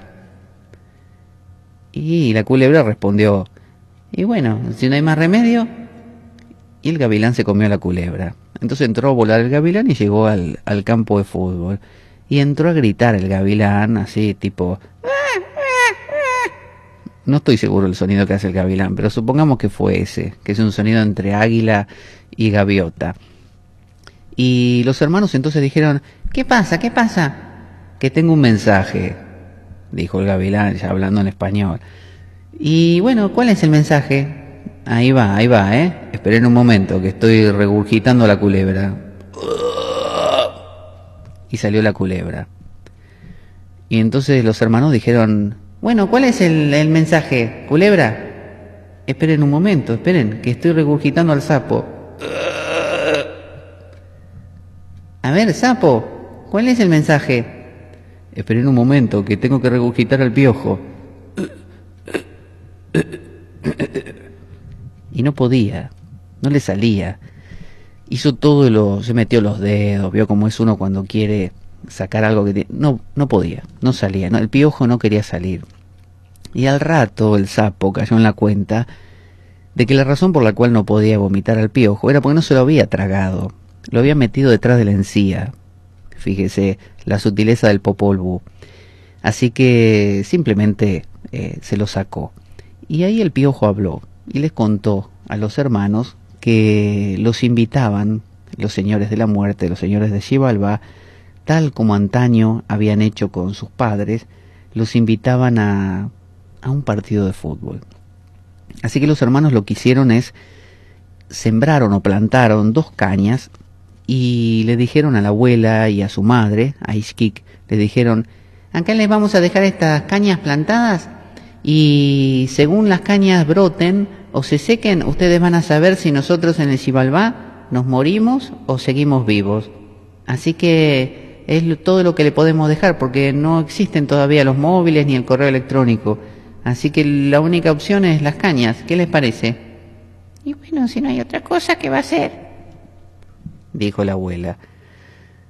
Así que vamos a escuchar una, una canción y luego del intermedio vamos a, a descender todos juntos, ustedes y yo, al mundo del Shivalba, donde están los señores de la muerte, y vamos a, a jugar al juego de pelota y a todo, a recordar todo lo que les pasó a los padres de, de Junaspo y Ixbalanqué, pero, pero ahora de otro modo, que es el modo de los hermanos, de los gemelos, que tienen un toque especial, porque recuerden que no son como Jun Junaspu y Bukub Junaspu, eh, meramente habitantes de la tierra. Ellos son un poco de cada cosa, porque su madre, Ishkik, era un habitante del Xibalbá, del mundo de los muertos, y, y su padre, Jun Junaspu, era un habitante de la tierra. O sea que tienen una cosa de semidivinos, pero además del contacto con lo más profundo, tal como Jesucristo que descendió a los infiernos, recuerda eso, y es decir, que tiene un poco de cada cosa, que nació de una virgen, nació de una humana. Bueno, acá ellos nacieron de un habitante del, del submundo, del mundo de los muertos, del mundo este, subterráneo. Así que vamos a escuchar un tributo a The Police eh, sobre la canción esta Mensaje en la botella, Message in a Battle, que es justamente lo que el piojo vino a darles a los hermanos para prepararlos para el submundo. Y enseguida volvemos con más Junajpú, Ishbalanque, Juego de Pelota y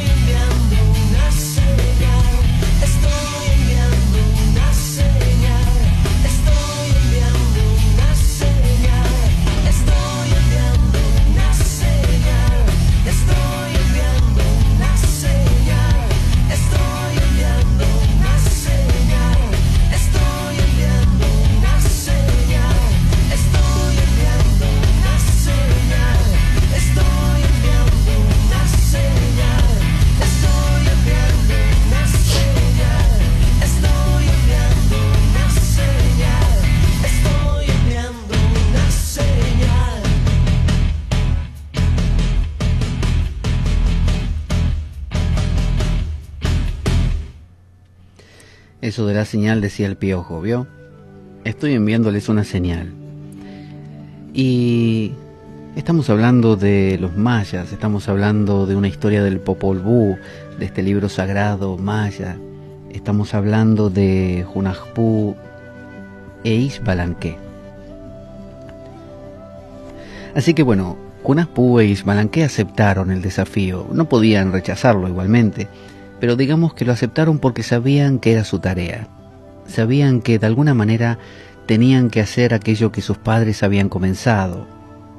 Vio cuando uno se encuentra recorriendo caminos que otros ya han horadado, como por ejemplo los padres, sabiendo que a uno le toca tener que, que compartir algunas vicisitudes que otros ya han transitado porque de alguna manera se las han heredado. Y el piojo y la rata, sobre todo la rata, el ratoncito, eh, actuaron como un gurú. Porque cuando usted se pregunta cuál es el camino de mi vida, cuál es, qué es lo que tengo que hacer, la respuesta no es una determinada, sino que es la primera que usted escuche. Si usted escucha la respuesta de, por ejemplo, tienes que mm, tratar de encontrar el perdón de Dios eh, a través del cristianismo, eh, porque Jesús murió por tus pecados, bueno, ese, ese será su camino de vida. Y usted lo vivirá como anillo al dedo, como el suyo. Pero si usted escucha, tienes que mm, cumplir los preceptos del Corán, porque Mahoma lo recibió de Dios para ti, bueno, eso será. Y si es, tienes que ayudar a las masas a que organicen la revolución para eh, vencer al poder, eh, al veneno capitalista, bueno, ese será su camino. Entonces el ratoncito les habló, podríamos decir, a, dos jóvenes que no tenían un camino determinado, hasta el momento ese, hasta que el ratoncito se los dijo. Por eso actuó como un gurú, como se dice la profecía autorrealizante. Cuando usted le dicen, yo sé quién eres, yo sé cuál es tu camino de vida, yo sé para qué estás aquí en este mundo, tú tienes una misión. Y a mí me lo han contado y ahí ponga lo que usted quiera, Dios, Jesucristo, los extraterrestres, los guías, los ángeles, lo que usted se le ocurra, para dar una autoridad a lo que se está diciendo. Y a partir de ese momento eso se convierte en su misión, téngalo por cierto. Bueno, los hermanos entonces, vamos a acompañarlos en su descenso al mundo del Cibalbá, para que no vayan solos, porque es una situación difícil, ¿eh? le cuento que no es una tontería. Entonces los hermanos bajaron, recuerden que era como una, como una cuesta muy empinada, bajaron una pendiente muy pronunciada hacia el mundo del Xibalbá. Ahí encontraron los cuatro ríos, el de podredumbre, el de las jícaras, el de la sangre, el del agua, y también los lograron pasar. Y llegaron a los mismos cuatro caminos, al cruce, que habían llegado también sus, sus padres. Y recuerden lo que les pasó, que eligieron el negro, porque le preguntaron a los caminos. Pero los hermanos, sabiendo esto, teniendo esto como antecedente, la metida de pata de los padres, fueron más, más vivos, más inteligentes. Entonces Junapú le dijo a Ishbalanque, Eh, escúchame, Isbalanque, ¿sabés qué vamos a hacer? Mira, eh, me voy a sacar un pelo de acá de la pierna. ¿un qué? Un pelo, pelo, un pelo de mi pierna. ¿Y para qué te vas a sacar un pelo? Ya vas a ver. Entonces eh, Junapú se sacó un pelo y ese pelo se convirtió al instante en un mosquito. Entonces Junapú, Junapú indicó al mosquito que volase hacia donde estaban los señores del Xibalbá, como Juncamé y Bucaucamé, y los picase a todos. Además de picarlos, que mirara bien todo el asunto, a ver dónde, por dónde había que ir, a ver qué, era lo que había en ese lugar, cuáles eran las posibles pruebas que le podían tocar, cómo resolverlas, todo. Pero básicamente picaron a, todos los señores del Xibalbá, con la intención de que al picarlos cada uno fuera diciendo el nombre del otro. Y así suce- sucedió. El mosquito picó a uno y ese gritó, ¡ay! ¿Qué me picó acá? Entonces otro de los señores de Xibalbá decían, por ejemplo, Roberto, ¿qué estás diciendo? ¿Que te picó qué? No, no te preocupes, eh, José, es, es un mosquito que me picó. Ah, ay, me ha picado algo. ¿A ti también, Enrique, te picó algo? Sí, Gonzalo, me picó también a mí. Entonces se iban diciendo mutuamente los nombres y el mosquito, en su cabecita de mosquito, iba guardando todo. Entonces el mosquito regresó con Junapú y le contó en su, idioma mosquito, obviamente, ¿no? Vio cómo habla un mosquito que dice... No, así no es. Un zumbido. Imagínense un zumbido. No me salió de mosquito, pero usted lo conoce. Esas noches donde un mosquito se ha cebado con usted y usted se despierta todo sudado por haber estado tapado con las sábanas para evitar que lo piquen en, en una noche de verano, de esas pegajosas. Y el mosquito insiste en revolotear alrededor de sus orejas, en lugar de ir a picar sus pies, por ejemplo, que es una zona que a usted le importa muy poco y que lo dejaría dormir porque no hace ruido. No, el mosquito va a sus orejas. Entonces usted se despierta, como le digo, todo sudado, al mejor estilo de las películas norteamericanas donde el personaje se, le, se, despierta de una pesadilla. Veo que siempre se sientan. Yo he tenido pesadilla, pero nunca me he sentado así de repente. Pero en, la, en las películas siempre se sientan y todos sudados. Entonces usted en, entra a buscar al mosquito que, que tiene un poder de, de mimetización infinito, de camuflaje, pero mejor que, el mejor de los ejércitos. Y usted no lo encuentra el mosquito en absoluto y piensa para sus adentros. Y bueno, habrá sido que el mosquito se fue o se murió. Me voy a volver a dormir. ¿Para qué? Apenas apaga la luz e intenta conciliar el sueño cuando ya está justo durmiéndose de nuevo, el mosquito revoloteando. Y así lo tiene toda la noche, hasta que en alguna de esas lo descubre y triunfalmente, ya como a las 7 de la mañana, lo logra aniquilar, ¿no? Este horario que ya es totalmente inútil, o sea, hubiera dado lo mismo no matarlo porque este ya se tiene que levantar para ir a trabajar. Pero bueno, el mosquito entonces picó a todos y le contó a Jonas Poo el nombre de todos los de estos tipos, porque en todas las culturas antiguas el nombre es importante. Cuando usted sabe el nombre de alguien, lo tiene resuelto, lo tiene como atrapado. Y hoy en día también pasa. Los nombres definen. Yo le digo a alguien el loco, el depresivo, el, el divertido, eh, el holgazán. Los nombres definen mucho a las personas. Y fíjense los apodos, ¿no? El, el eh, no sé, el terco, el cabezón, qué sé yo, el narigón, o nombres así, que van definiendo características físicas, pero también a veces conductas. Entonces cuando uno conoce el nombre de alguien, conoce mucho de esa persona, conoce sus títulos, hoy en día sería eso, sus títulos, sus denominaciones, sus categorías. Entonces era ya entrar a jugar con ventaja. Es como si usted va a jugar un partido de fútbol y, y antes le mostraron un video donde usted ve a los jugadores cómo juegan, cuáles pueden ser sus errores. Y los señores de la muerte lo último que querían era que les vieran eso, no les interesaba. Eh, así que bueno, ya conocía todos los nombres Junaspú y avanzaron. Eligieron el camino de los cuatro que tenían que tomar, no se equivocaron porque el mosquito le fue contando, le dijo... Eh, no, no te tomes el negro, ¿eh? El negro te confunde. El negro es un mentiroso. ¿Quién es un mentiroso? dijo el negro. Vos sos un mentiroso. Quisiste confundir a los padres de ellos y se murieron después. ¿No te da vergüenza? ¿Eh? Desfachatado. Entonces los hermanos llegaron finalmente, tomando el camino correcto, y se encontraron con los famosos muñecos de palo. ¿Se acuerdan que los señores de la muerte le habían puesto unos muñecos de palo a, a los padres de ellos para confundirlo y después reírse?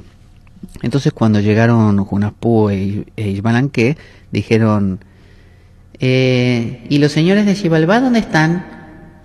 Porque estos son solo muñecos de palo, ¿eh? Muñecos de palo. ¿Dónde se están escondiendo? Queremos ver a los de verdad, no a los muñecos de palo. Y los señores de Xibalbá salieron de ahí atrás y tuvieron que, obviamente, que aceptar. Dijeron, eh, sí, la verdad que estábamos acá atrás. Bueno, acá estamos. ¿Cómo les va? ¿Todo bien? y saludaron a los muchachos que, no habían caído ni en la trampa de los cuatro caminos ni en la trampa de los muñecos de palo. Y entonces los hermanos saludaron a todos por su nombre. Dijeron, eh, ¿qué tal Gonzalo? ¿Qué tal Enrique? Muy bien. Yo soy Jonas Pu. Eh, eh, ¿Qué tal José? ¿Todo bien? ¿Todo bien? Por aquí, por el Xibalbá. Y los, los señores del Xibalbá, los señores de la muerte, estaban pero sorprendidísimos, conocían sus nombres, que ellos no se los decían a nadie, sabían el nombre de todos, de Jun Kamé, de Bukub Kamé, de todos, y de todos los subalternos. Entonces se dijeron para sus adentros algo así como, mire, te lo digo así, estos, estos hermanos son medios raros, ¿eh? No son como sus padres. La verdad que no cayeron en lo de los cuatro caminos y tampoco saludaron a los muñecos de palo. Y además de todo, mira, saben nuestros nombres. Yo no sé qué vamos a hacer. Ya se nos va a ocurrir algo. Entonces, los hermanos ya llevaban ahí como la- las de ganar. Así que los señores de Xibalbá em, les invitan a sentarse en los famosos asientos de piedra, ¿se acuerdan? Esos asientos que habían sido calentados al rojo vivo, todo para reírse de ellos. Y los hermanos dijeron, ay no, ¿saben qué? Eh, estamos tan cansados de, de estar sentados cuando estuvimos esperando hace un rato em, que amaneciese y no, no, no, no nos queremos sentar, muchas gracias. Y los señores de la muerte que se mordían los labios estaban enojadísimos de que no pudieran haberles hecho caer en eso tampoco. Entonces los invitaron a la casa oscura, que era la casa, recuerden, donde les daban a cada uno un acote, es decir, una especie de, de lumbre, de, de- palito de, de madera encendido y un cigarrillo a cada uno y tenían que mantener toda la noche el cigarrillo encendido y también la lumbre. Y a la mañana siguiente, cuando viniesen los señores de la muerte, tenían que presentárselos intactos. El cigarrillo sin acabarse y la lumbre encendida. Cosa imposible. Pero los hermanos eran muy, muy despiertos. Y esa era la diferencia con respecto a sus padres. Eh, tenían una habilidad muy grande, quizás porque nacieron en ese, en ese mundo de Xibalbá, es decir, su madre Ishkik era de ahí. Entonces lo que hicieron fue, eh, con la cola de un pájaro que tiene un color medio anaranjado, eh, lo pusieron en el palo para que pareciera la lumbre todavía encendida, con ese fueguito, y tomaron una luciérnaga y la metieron dentro del cigarrillo. Y de esa manera, cuando por la mañana vinieron los, los señores de la muerte, eh, descubrieron que tenían el cigarrillo encendido. O sea, la luciérnaga hacía aparentar que el cigarrillo estaba encendido. Y las plumas de este pájaro que la lumbre todavía estaba completa. Así que no hubo forma de, de atraparlos en eso. Y los señores de la muerte estaban que se, se revolvían en su veneno. Decían, maldición, maldición. Han podido mantener encendido eso. No sé cómo hicieron. ¿Quiénes serán estos? Vamos a preguntarles. Muchachos, muchachos, eh, queríamos preguntarles, ¿ustedes de dónde vienen? ¿Quiénes son vuestros padres? Y los muchachos no querían decirles nada. Dijeron, eh, no, no sabemos nosotros de quiénes somos hijos. Y ellos le preguntaron, pero ¿cómo no saben? No, no, la verdad no, no nos acordamos. La verdad no, somos de, de despistados. Así que no les contaron su procedencia. Y fíjense cómo los hermanos inicialmente habían estado enemistados con los animales. Cuando eh, quisieron vengarse de los animales por deshacerles su trabajo. Y, y ahora se empiezan a amigar con los animales. Porque el pájaro y la luciérnaga les permiten encender ese o aparentar encender ese cigarrillo. Es decir, los animales, el ratoncito, como primero de ellos, el piojo, ya son colaboradores de ellos, se amigan, se amigan con la vida, con la naturaleza, ya no están peleados con ella, ya no están enemistados. A veces nos enemistamos en nuestra vida con nuestro propio cuerpo y queremos, como los hermanos al principio, que la asada y las herramientas trabajen por sí mismas, como cuando queremos que que con nuestras máquinas dominar el mundo, no que hagan las cosas por nosotros. Queremos alejarnos de la naturaleza, Bueno, los hermanos de, una, de alguna manera están volviendo a entender el lenguaje de la naturaleza, a hacerse amigos de ella. Entonces, eh, les proponen jugar un partido de fútbol. Los señores de la muerte los invitan a jugar un partido de fútbol y ellos aceptan. Y como empiezan a jugar y los hermanos juegan muy bien, eh, iban ganando. Y los señores de la muerte, eh, así como quien no quiere la cosa, vienen tipo película de, de esas de, cárceles. Bueno, vienen con un puñal, así puñal de obsidiana, porque los mayas utilizaban no el metal sino la piedra. Y, y vienen ahí como corriendo para, para buscar la pelota y como a clavárselo directamente a Junapú. Entonces Junapú se da cuenta y, lo esquiva y se crea toda una tensión, como una situación fea, como que... ¿Qué está pasando acá? ¿Que me quisieron matar? ¿Eh? ¿Que este juego no es limpio? ¿Que ustedes no juegan bien? ¿Que le- les molesta que les ganemos? ¿Eh? Esto así no va, ¿eh? Mirá que nos volvemos para casa, nos volvemos, ¿eh? Entonces los señores de la muerte estaban este, sentidos por esto, no querían que se fueran porque los querían matar, básicamente. No querían que regresasen al mundo de los vivos, si los habían llamado para eso. Entonces les dijeron así, em, que querían que les juntasen eh, cuatro jícaras con flores para el día siguiente, que durante la noche les juntaran cuatro jícaras con flores. Pero les habían pedido a, a los guardianes de los, de los jardines, que eran de ellos mismos, que no dejaran entrar a nadie, que nadie pudiera acceder a los jardines, de manera que los hermanos no pudieran recolectar las flores y a la mañana siguiente estuvieran en falta. Pero ¿saben lo que hicieron? Apelaron a las hormigas. Y las hormigas, lo- los guardianes de los jardines esperaban a los hermanos, que vinieran así sigilosamente a querer robar las flores. Pero no, fueron las hormigas. Y las hormigas les trajeron las flores a, a los hermanos y pudieron llenar las cuatro jícaras. Es decir, aquí nuevamente está la colaboración de la naturaleza, el, el- aprender a entender la vida, hacia dónde va y a no chocar contra ella. Porque le digo, inicialmente los hermanos pretendieron dominar a la naturaleza y los animales le demostraron que no, que no se podía. Acá ya se hacen amigos. Entonces los señores de Xibalbá les, les obligan a pasar la noche en la segunda de las pruebas, que era la casa de las navajas, que era una casa donde básicamente había navajas voladoras, ¿no? Como la película china esa, que creo que se llama así, la casa de las navajas voladoras. Bueno, usted entraba acá y volaban navajas.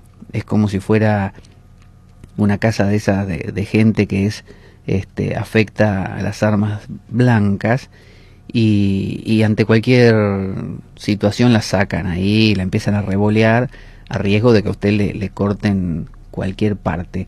Bueno, de la misma manera pasaba aquí, las navajas volaban. Entonces los hermanos, en lugar de esquivar las navajas, en lugar de protegerse, lo que hicieron fue hablar con las navajas y le dijeron, Eh, ¿Navajas? sí, ¿qué pasa? Eh, nosotros sabemos que ustedes nos quieren matar. ¿Ah, sí? ¿Se dieron cuenta? Sí, es que es evidente, ¿eh? Porque están volando en todas direcciones. Casi me cortan la oreja recién. Ah, sí, veníamos bien, ahora en dos minutos los vamos a matar. No, no, pero les queremos hacer una propuesta.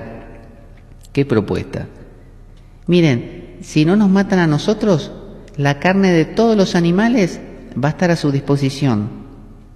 ¿En serio? Sí, en serio. Bueno, hecho, listo. Y a partir de ese momento, como usted sabe, las navajas y los cuchillos se utilizan para la caza, entre otras cosas. La caza con Z, ¿no? La caza. Y, y así que los dejaron en paz a los hermanos.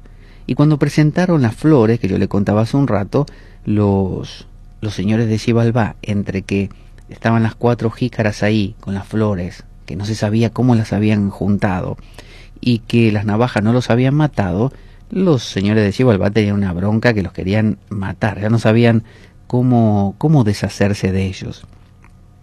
Así que vamos a escuchar una canción que nos habla un poco de los hermanos en este mundo hostil para ellos.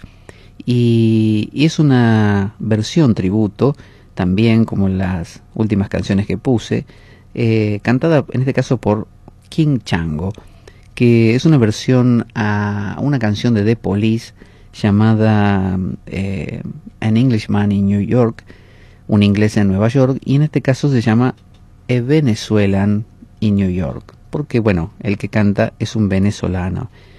Básicamente trata de esto, de alguien foráneo, alguien ajeno a un contexto, como los hermanos, que tienen que lograr sobrevivir en él.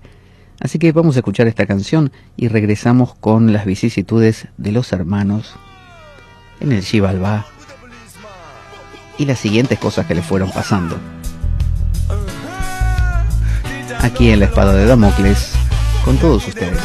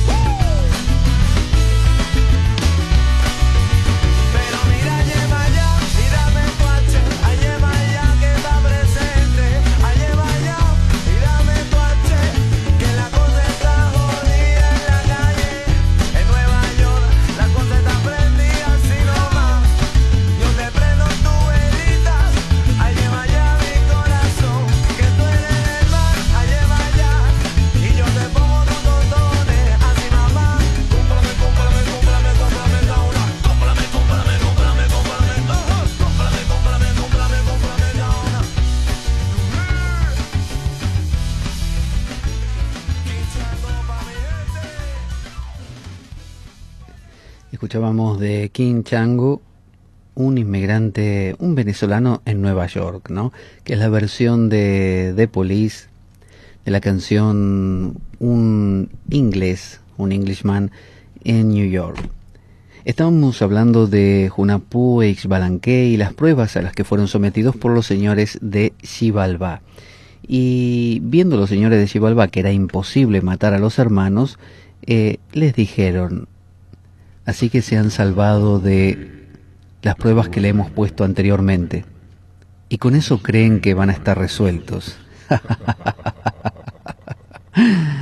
Nada más lejos de la verdad. Ahora, ¿saben a dónde van a ir? A la casa helada. Y en esta casa helada se van a congelar. Parece que los señores de la muerte les gustaba hablar así, como, como de película de terror, para asustar a la gente. Pero acá con los hermanos no les estaba funcionando, porque eran los hijos de Ishkik. Eh, Ishkik, en última instancia, también saben a qué hace una resemblanza de, del maíz, porque el maíz tiene que gestarse bajo tierra, como hizo Ishkik, que gestó a sus hijos, que quedó embarazada bajo tierra, pero luego tuvo que salir a la superficie, como el maíz necesita emerger para, para dar su fruto, para dar su grano. Entonces de la misma manera tuvo que hacer Ishkik cuando subió y ahí dio a los hermanos. Pero esos hermanos nuevamente tienen que volver a la tierra, tienen que morir de alguna manera para que se produzca un renacimiento de ese maíz. Ellos son la semilla, como decía Jesús también, cuando decía que él debería morir para que pudiera venir eh, el Espíritu Santo, para que pudiera haber vida, él tenía que, que morir previamente y que los discípulos vio que no, no entendían mucho ese tema, no, no, les causaba ninguna gracia básicamente. Entonces los mandaron a la casa helada. Y en la casa helada, este, ¿qué hace uno? Toma helado, por ejemplo. Una heladería era... No, no era una heladería. Era un lugar donde uno se congelaba hasta los huesos. Hacía un frío, un ofri, que ni le cuento. Y los hermanos estaban ahí que decían... Oh, oh, ¡Qué frío! ¿Qué hace Jonacú? Sí, ya sé, Ishbalanque, hace un frío que nos estamos muriendo. Ah, dame un golpe, dame un golpe en el brazo que se me durmió. Ah, gracias, se me había dormido. Oh, se me está durmiendo de nuevo. ¿Sabes qué vamos a hacer, Ishbalanque? Se me ocurrió una cosa. ¿Qué se te ocurrió? Pero que sea rápido que nos congelamos. Mira, vamos a encender leña. ¿Leña? Sí, leña. ¿Y cómo no se me ocurrió antes a mí? Y no lo sé. Por algo yo soy Hunapku. Y vos sos solamente el brujito pequeño, Ishbalanque. Tenés razón. Encendamos leña. Entonces encendieron leña y a partir de ese momento estaban como querían, contaban historias ante el fuego, cantaban canciones, aunque no tenían guitarra, cantaban canciones. Y desde afuera los, los señores de Ishbalan que escuchaban todo eso y decían para sus adentros algo así como, estos que están ahí adentro, que están cantando, deberían estar congelándose. ¿Qué hacen cantando ahí?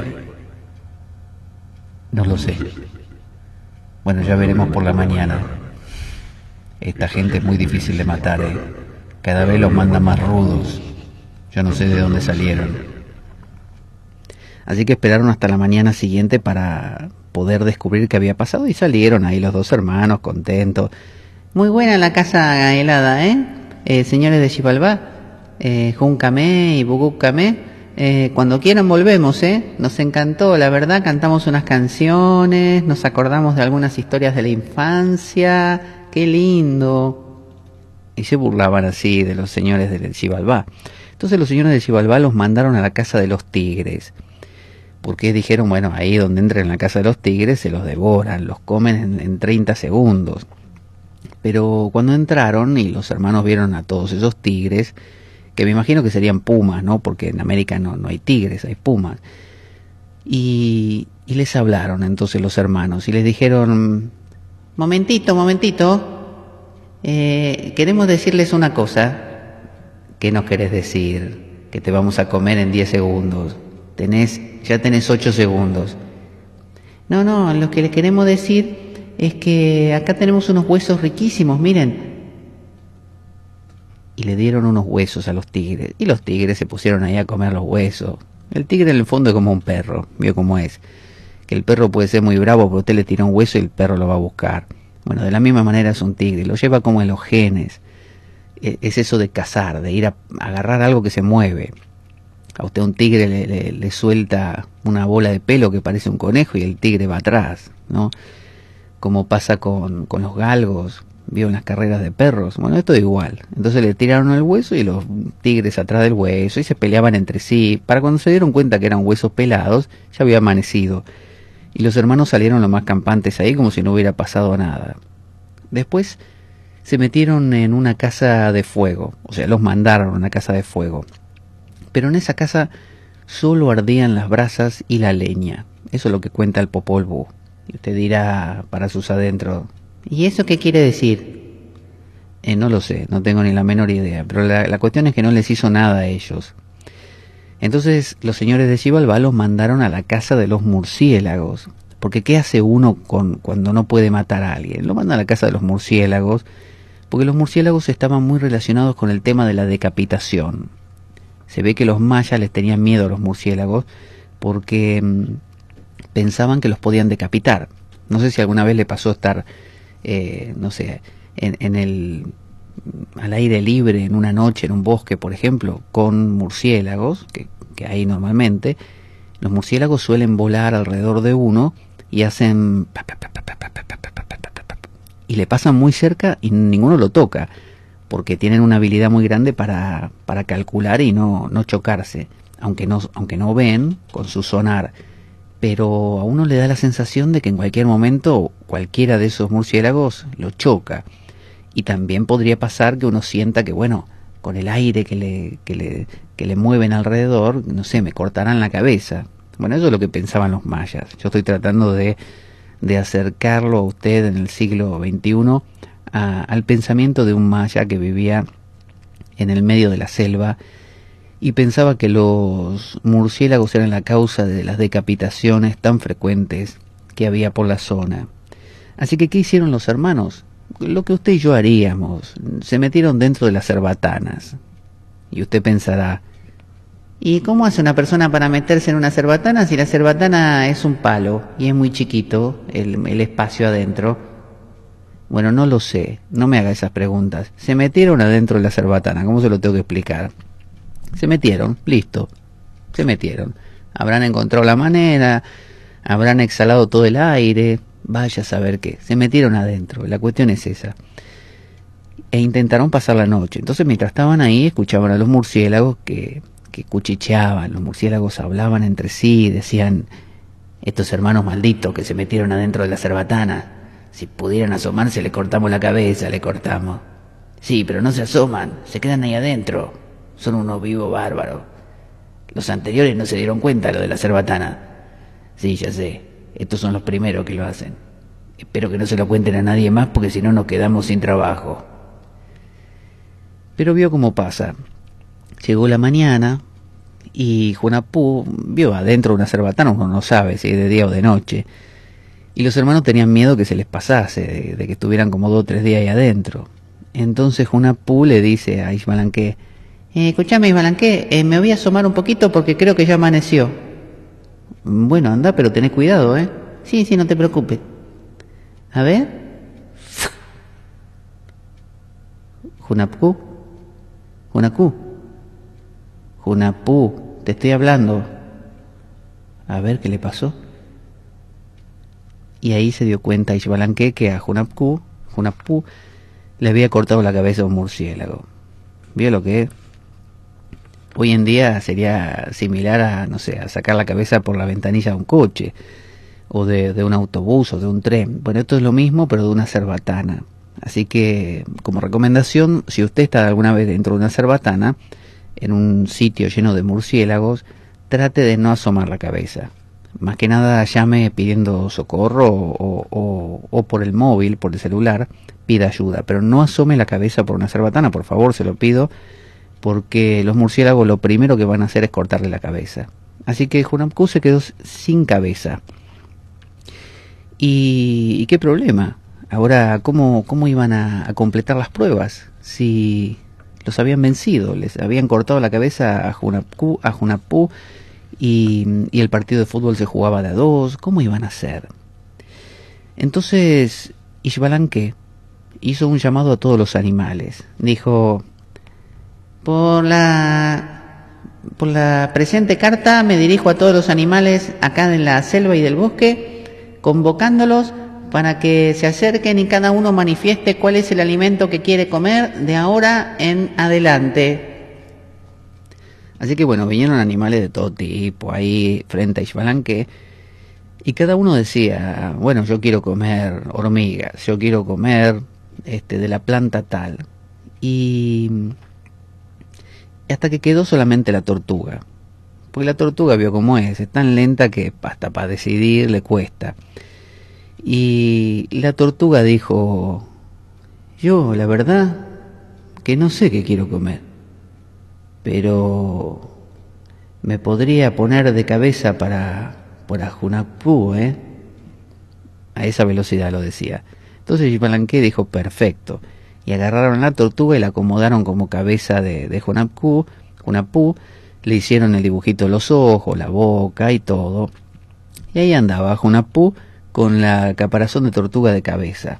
Y, y la gente que lo veía le preguntaba, buenos días, Junapú. Buenos días. Eh, te veo distinto, ¿eh? ¿Es, ¿Que te peinaste de otra manera? No, no. Pero tenés otra cara, ¿eh? No, debe ser que no dormí bien anoche. Sí, debe ser eso. Ah, bueno, hasta luego. Hasta luego. El tipo tenía una tortuga de cabeza. Cuando usted tiene una tortuga de cabeza, en lugar de su cabeza cotidiana, llama la atención. ¿Qué le voy a decir? La gente hace que no, que no pasa nada, pero sí, se nota, se nota. O sea, que no, no lo intente porque se nota, se, se da cuenta la gente. Entonces, eh, Huracán, el dios Huracán, que es el creador, fue el que ayudó a darle vida. Tal como pasó con Ganesha cuando le cortaron la cabeza, que Shiva se la cortó, Brihaspati apareció y fue el que con sus artes mágicas le pegó la cabeza otra vez, se la conectó. Y de esa manera quedó con cabeza eh, el dios cabeza de elefante. Bueno, de la misma manera le pasó a Hunapku, que gracias a, a Huracán le pusieron la cabeza otra vez. Entonces empezó un juego de pelota. Los señores de Xibalbá ya tenían la ventaja que le habían cortado la cabeza a Hunapú y descubrieron que apareció de nuevo Ishbalanque y Hunapú, los dos, a jugar y los dos tenían cabeza. Se quedaron sorprendidos, pero bueno, empezaron a jugar. Y los hermanos habían pactado con un conejo. Y le dijeron al conejo, Mira, vamos a tratar de patear la pelota bien lejos, ¿viste? Detrás de los arbustos. Y vos te quedás por ahí escondido. Cuando pateemos la pelota, vos salís corriendo como si fueras la pelota, para que te persigan, ¿viste? Y mientras te persiguen, nosotros vamos a agarrar la cabeza de Junapú, que la pusieron los señores de Chivalbá arriba del aro, y se la vamos a volver a colocar, ¿dale? Perfecto. dijo el conejo. Empezaron a jugar y, y donde la pelota se acercó a, a, a Ishbalanque, Ishbalanque, porque estaba jugando Junapú, pero bueno, jugaba como jugaría uno con cabeza de tortuga, imagínese, no, no agarraba una, no, no, no alcanzaba a ver bien, eh, le erraba todo el tiempo. Entonces este, iban perdiendo. Y donde agarró la pelota Ishbalanque, le dio un caderazo y la mandó a los arbustos. Y el conejo saltó como si fuera la pelota, un conejo negro. Y los señores de Xibalbá persiguieron, ¡eh, la pelota, la pelota! atrás de la pelota. Y mientras tanto, Ishbalanque se sube hasta el aro, un aro de piedra que es como el arco o la portería, saca la cabeza de, de y se la pone de nuevo. Y usted pensará, para sus adentros, Una cabeza que te la vuelven a poner no se pega. bueno, en el caso de ellos sí se pegó, señora, ¿qué le va a hacer? Se pegó. Se pegó y le encajó perfecto, el tipo abrió los ojos y era normal, como si siempre hubiera tenido esa cabeza y nunca se lo hubieran sacado. Entonces, este, ¿qué hicieron los hermanos? Además de terminar el partido y ganarlo, hablaron con Zulu y Pacá. ¿Quién es Zulu y Pacá? No es que sea Pacá o allá, ¿eh? No me refiero a que Zulu Pacá y el otro allá. No. Eran dos tipos que eran como una suerte de sacerdotes ahí en Xibalbá. Entonces les dijeron, eh, los señores de la muerte le dijeron así, eh, mira, Zulu y para acá, eh, los señores de la muerte nos quieren matar. Sí, ya me di cuenta, hace un montón que los quieren matar y no pueden. Sí, sí, pero bueno, ahora van a poder, porque nos vamos a dejar matar. Eh, lo que queremos hacer es que los señores de la muerte les van a pedir consejo a ustedes y les van a preguntar qué tendrían que hacer con nosotros, con los huesos y todo. Ustedes díganle que lo que tienen que hacer es quemarnos, triturar los huesos y tirarlos al río. ¿Se entiende? Sí, sí, perfecto, no hay problema, se lo decimos. Bien, gracias. Entonces, claro, em, los señores de Xibalbá los invitan, entre comillas, a los hermanos a saltar una hoguera. O sea, había una hoguera encendida en un pozo. Y, y tenían que saltarla cuatro veces. Todos. Lo- o sea, como diciendo, esta es una cosa ritual que siempre hacemos acá en Xibalbá. Vamos a saltar, pero ustedes saltan primero. O sea, los hacían saltar a los hermanos primero. Pero era muy ancho, era imposible que alguien lo salte. Y los hermanos lo sabían. Entonces lo aceptaron y saltaron, práct- prácticamente se tiraron, ¿no? Y, se quemaron, se quemaron ahí. Y los señores de Xibalbá estaban, ¡eh! ¡Se murieron por fin! ¡eh! ¡Alegría! ¡Alegría! Acá en Xibalbá otra vez ganamos. Vencimos a los padres y también a los hijos. ¡eh! ¡Aguante Xibalbá! Estaban felices, hacían fiestas, tocaban tambores, este, eh, no sé, bebían sus bebidas así, este, espirituosas, ¿no? Y entonces les preguntaron a Zulu y a Paca qué tenían que hacer con los huesos de, de esta gente, porque buscaban consejos y le dijeron entonces a Zulu y Paca, Zulu y Paca, ¿qué deberíamos hacer con los huesos de estos malditos hermanos? Eh, bueno, lo que deberían hacer es eh, mm, machacarlos y el polvo arrojarlo al río para que se pierdan en el río. Muy bien, eso haremos. Gracias. Entonces, obviamente eso hicieron. Los machacaron, los arrojaron al río. Pero estaba todo planeado. En el río se formaron otra vez con ese polvo, primero unos peces, que eran los dos hermanos, y luego tomaron forma humana y salieron como dos pordioseros del río. Y caminaban por Xibalbá haciendo un acto, un acto mágico, supuestamente para entretener a la gente, que fíjese qué gracioso, consistía en venían y te quemaban tu casa, ¿no? Aparecían de la nada, te la prendían fuego. Y vos salías de tu casa gritando, ¡Eh, pero que me están quemando mi casa! ¡Está loco! ¡Mátenlo! ¡Que agárrenlos! Y ellos decían, momento, momento, no, no te preocupes, mira lo que hacemos ahora. Y con otro pase mágico la casa volvía a aparecer como si nada. Cuando la gente de Xibalbá empezó a ver eso, se dieron cuenta que eran magos. Y también lo que hacían era, era descuartizarse mutuamente. Básicamente era Ishbalanque el que descuartizaba a Junapú, que ya tenía práctica, se acuerda que le cortaron la cabeza, y, y lo mataba y lo volvía a la vida, así como si nada. Decían, miren lo que voy a hacer, le corto la cabeza, le corto los brazos, le corto las piernas, y ahora le clavo un cuchillo en el pecho, y se murió, ¿vieron? Ahora lo voy a revivir.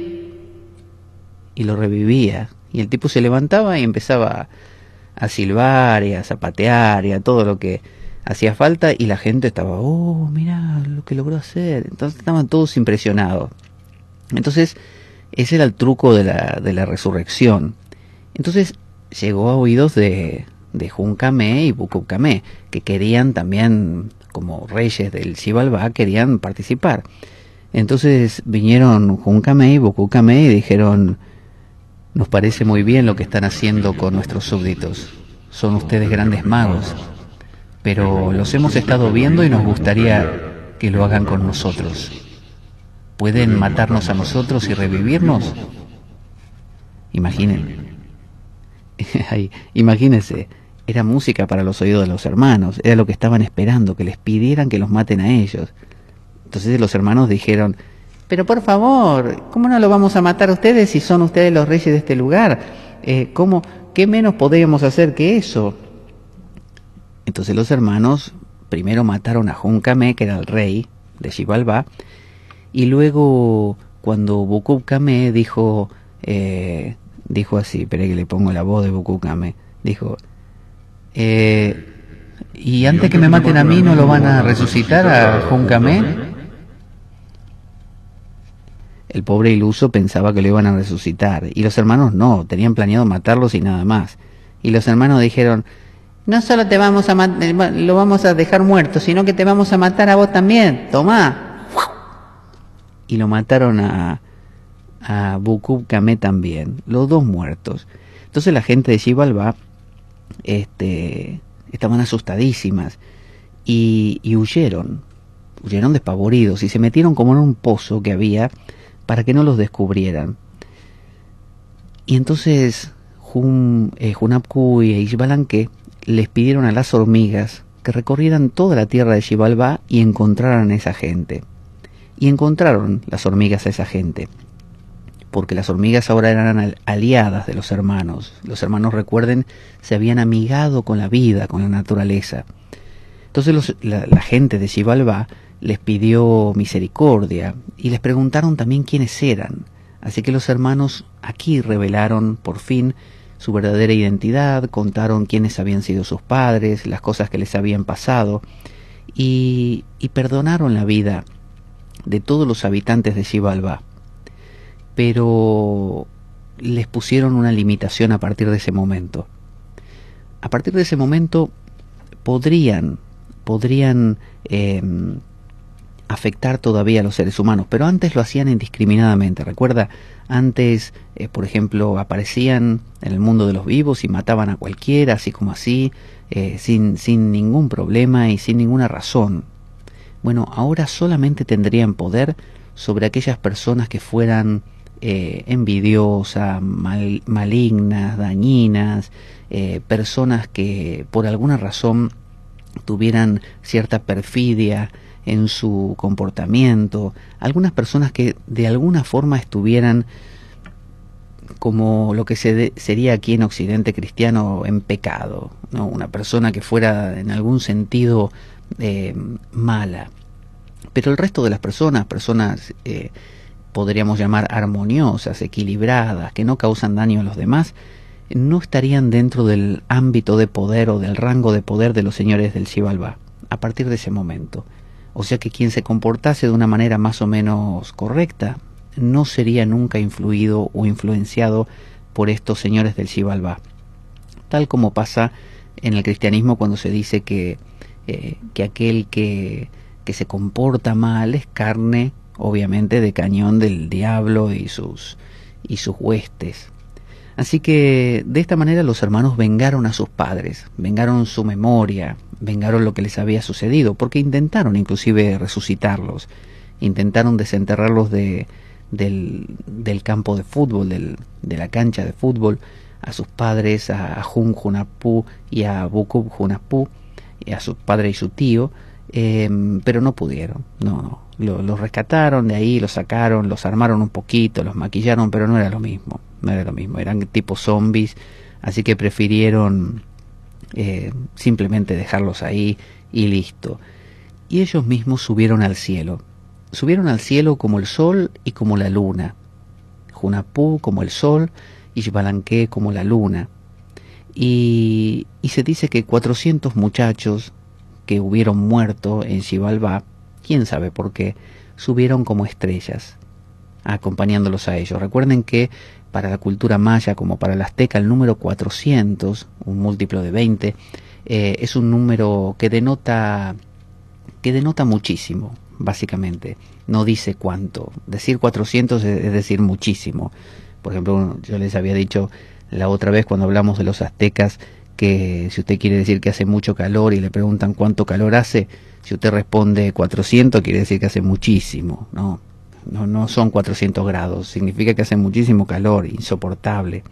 Entonces, las estrellas acompañaron y acompañan todavía a Junapu en el cielo y a Ishbalanque en el cielo nocturno. Y cada día Junapu desciende cuando el sol se pone porque entra en el Xibalbá para luchar contra los señores de la muerte y vencerlos cada día y emerger al día siguiente otra vez como el sol triunfante. Porque estas culturas y muchas otras, no solo de América, dan una importancia muy grande al sol. Vamos a escuchar una canción que quizás cantaban eh, los señores de Xibalbá, que les gustaba eh, cómo era Junapú, les daba bronca, pero lo envidiaban y decían, ¿por qué no podemos ser como tú? Queremos ser así. Y es una versión de una canción de The Cure que dice, Why can I be you? ¿Por qué no puedo ser tú? A ver.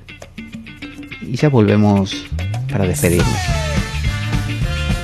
Aquí en la espada de Damocles.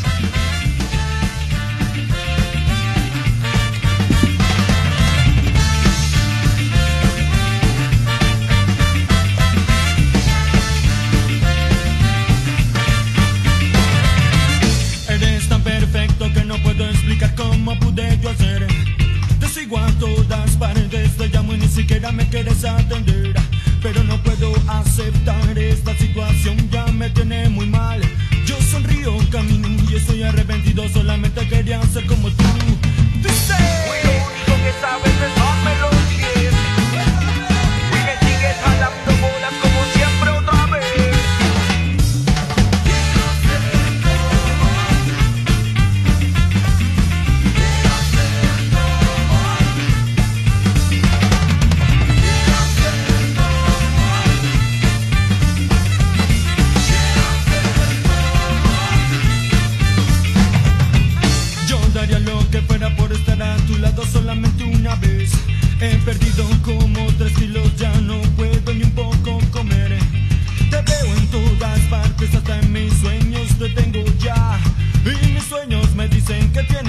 una vez conmigo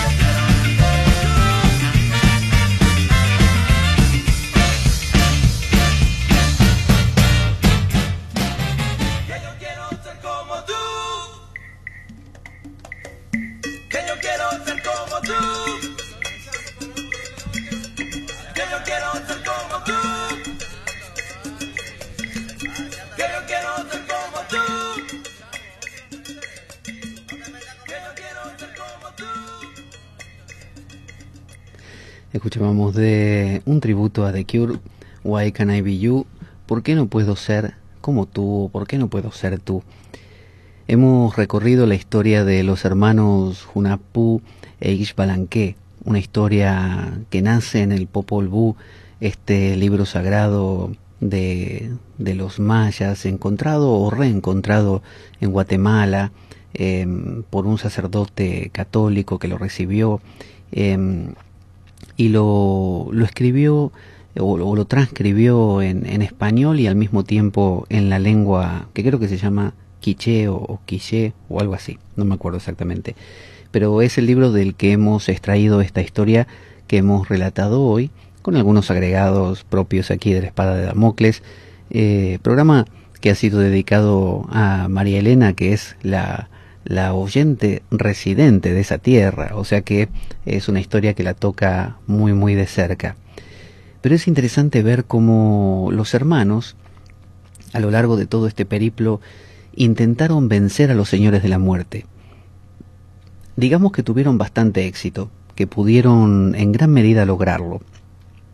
Sin embargo, llegó un punto donde notaron que más allá no, podía, podrían avanzar, o que en algún momento los iban a, vencer, como cuando le cortaron la cabeza a Junapú eh, del todo, o que tarde o temprano iban a tener que aflojar, que, que, iban a ser más fuertes que ellos, porque lo eran. Los señores de la muerte, los señores de Xibalbá, tenían más poder que los hermanos. Como suele pasar muchas veces, que, un jefe en un trabajo, eh, alguien que tiene una posición jerárquica de poder, un político, o, o, situaciones de vida que ya lo exceden a uno, uno no, no puede luchar contra ellas, sea a veces una enfermedad, a veces cosas que, que mm, son mucho más grandes que lo que uno pueda llegar a ser. Que por más que uno tenga eh, cierta viveza, cierta inteligencia, habilidad, astucia, eh, tarde o temprano caerá, porque esa cosa es más, más hábil, más fuerte, tiene más recursos, tiene más tiempo a veces que uno. Y el debilitamiento eh, de, del propósito propio o, o, o el agotamiento de las habilidades tarde o temprano va a llegar. Entonces, ¿qué hicieron los hermanos? Se inmolaron. Se inmolaron y surgieron de otra manera, como esos dos pordioseros. Entonces, se inmolaron, es decir, eh, se dejaron morir, acabaron con su vida, porque confiaron en regresar como la memoria. La memoria tiene que ver con, con el grupo humano, con la especie, con, con, el conjunto, mientras que la acción individual tiene que ver conmigo o con usted, con nosotros como individuos. Pero a veces nosotros como individuos eh, ya no podemos dar más o, o, ya hemos sido demasiado circunscriptos y, observados como para, como para tener oportunidad de supervivencia. Entonces lo que hacemos es pasar la posta, es morir y dejar que otro u otros continúen lo que estamos haciendo, que es lo mismo que, que mantener el mismo propósito pero por varios frentes al mismo tiempo. Usted vio, por ejemplo, cuando hay hormigas, en mi casa ahora hay hormigas, entonces cuando uno eh, mata una hormiga, porque la hormiga está haciendo algo muy incómodo para la vida de una casa, eh, vienen 800, 1500 hormigas más. Y usted dirá, eh, ¿y qué importa? ¿Matamos a todas las que vengan? No, porque llega un momento que usted no puede matar a todas, porque siguen viniendo y de distintas maneras y por distintos lugares, y se meten por todos los agujeros que usted se imagina de su casa, hasta que llega un día que son tantas que usted no puede, y, tan variadas sus acciones, que usted no puede contra ellas. Usted es solo un individuo. Entonces a veces los sistemas totalitarios o de poder, sean cual sean, ¿no? sean masivos a nivel estados o mundiales, o sean eh, más individualizados, como por ejemplo en una empresa o en una familia, eh, a veces ir a pelear como una hormiga sola contra el pie de una persona es saber que uno va a terminar aplastado, porque uno puede esquivar una o dos veces ese pie, pero en la tercera lo pisan. Pero si en lugar de venir una hormiga, esa hormiga va con la actitud de me importa poco si a la larga me pisan, porque sé que ya he hablado con todas mis hermanas hormigas, y otra hormiga va a venir, y otra hormiga va a venir, y ya están viniendo por distintos ángulos, y alguna de estas hormigas lo va a lograr. Entonces, habrá dado un salto desde una conciencia individual, personal y puntual a una conciencia colectiva. Entonces usted dirá al mismo tiempo, eh, pero ¿de qué me sirve a mí un logro colectivo si no lo puedo disfrutar? Porque a mí me aplastaron en el primer pisotón. Es cierto, no lo va a disfrutar. como individuo, pero sí lo va a disfrutar como colectivo. Aunque claro, no lo va a disfrutar con la conciencia individual, va a ser otro disfrute, un disfrute desconocido para usted y que nunca el usted que es hoy lo va a poder sentir, de la misma manera que un Che Guevara que murió o, un revolucionario de la Revolución Francesa o de, o de la Revolución Rusa o, de cualquier revolución que ha habido en el mundo, y no me refiero solo a las comunistas, me refiero a cualquier tipo de revolución y cualquier tipo de, levantamiento y de protesta, esa es, la esencia.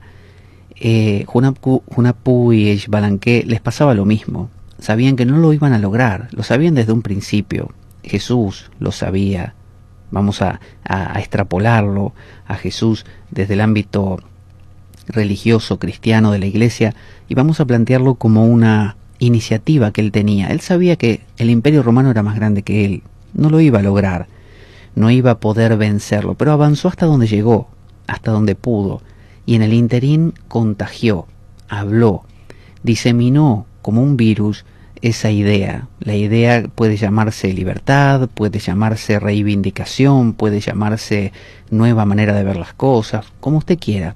Según el lugar y la situación variará. Y el hecho de, de sacrificarse y de morir a veces es necesario, porque si no todos están apostando a ese, y todos con la mirada fija en ese, y todos miran al Jesús de turno o al Junapú de turno y esperan que lo logre.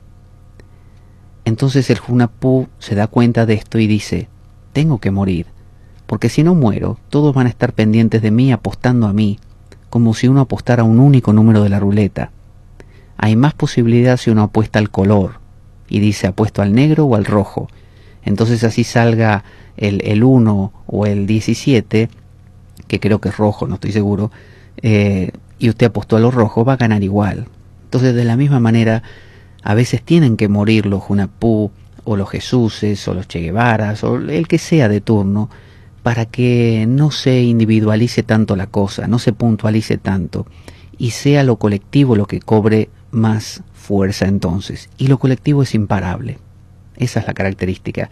Usted puede vencer a un león, pero no puede vencer a una manada de, de, de leones, no puede vencer a, a un montón de, de hormigas, no puede vencer a un enjambre de abejas, no puede vencer, no puede porque son muchos y vienen de disti- distintos ángulos.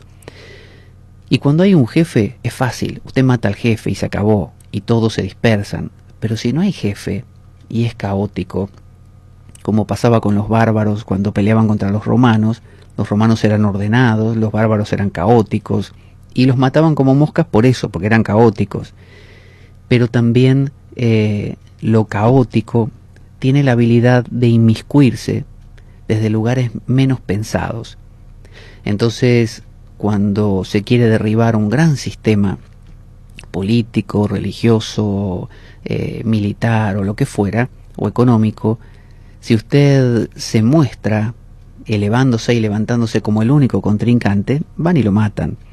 Pero si hay miles actuando a la vez y bajo distintas características y funciones, es imposible.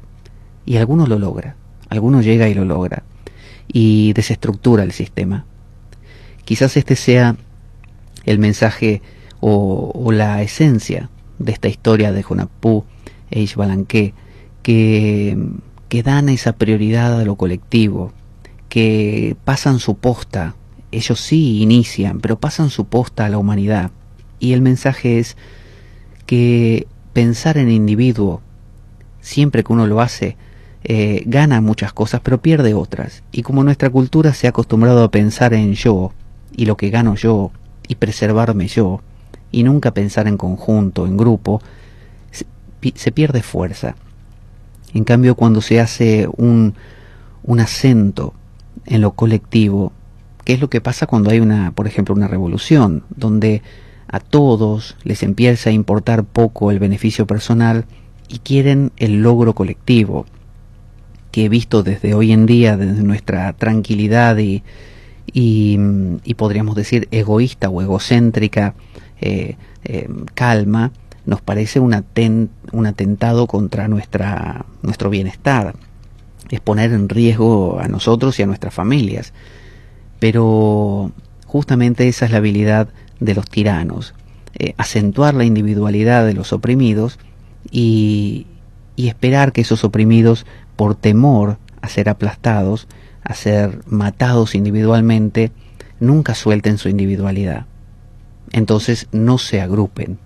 El grupo es lo más fuerte que existe, porque es como si la conciencia que antes era propia de un solo individuo, ahora está compartida en muchos frentes, como en todas las células de un organismo. Entonces usted puede matar 10 células que todavía todas las demás siguen funcionando. Y así funcionaba entonces, creo yo, la esencia de esta historia de, de Junapu e Ishbalanque. Y vamos a, a oír de fondo un- una canción de los tequis, que como le digo, es incaica. Pero bueno, se conecta.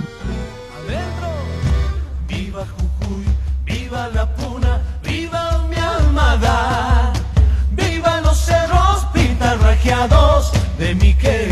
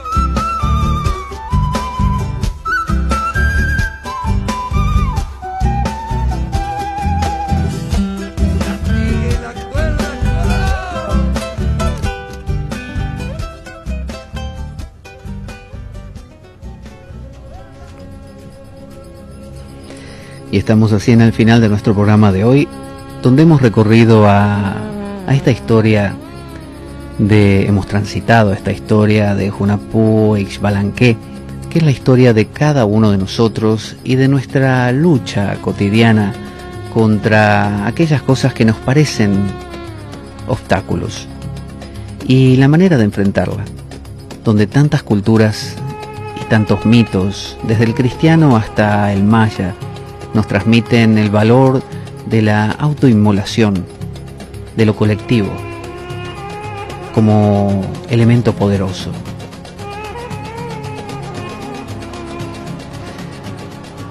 Y dado que la vida es un macabro juego, concebido por una mente perversa,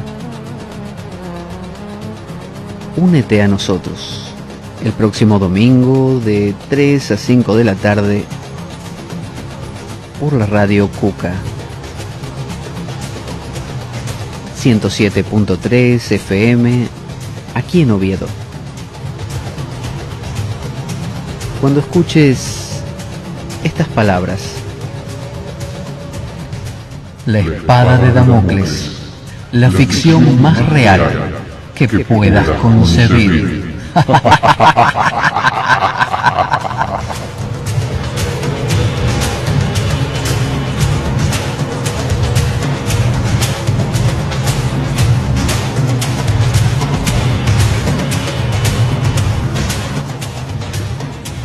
Buena semana para todos. Nos encontramos la semana que viene y buena vida.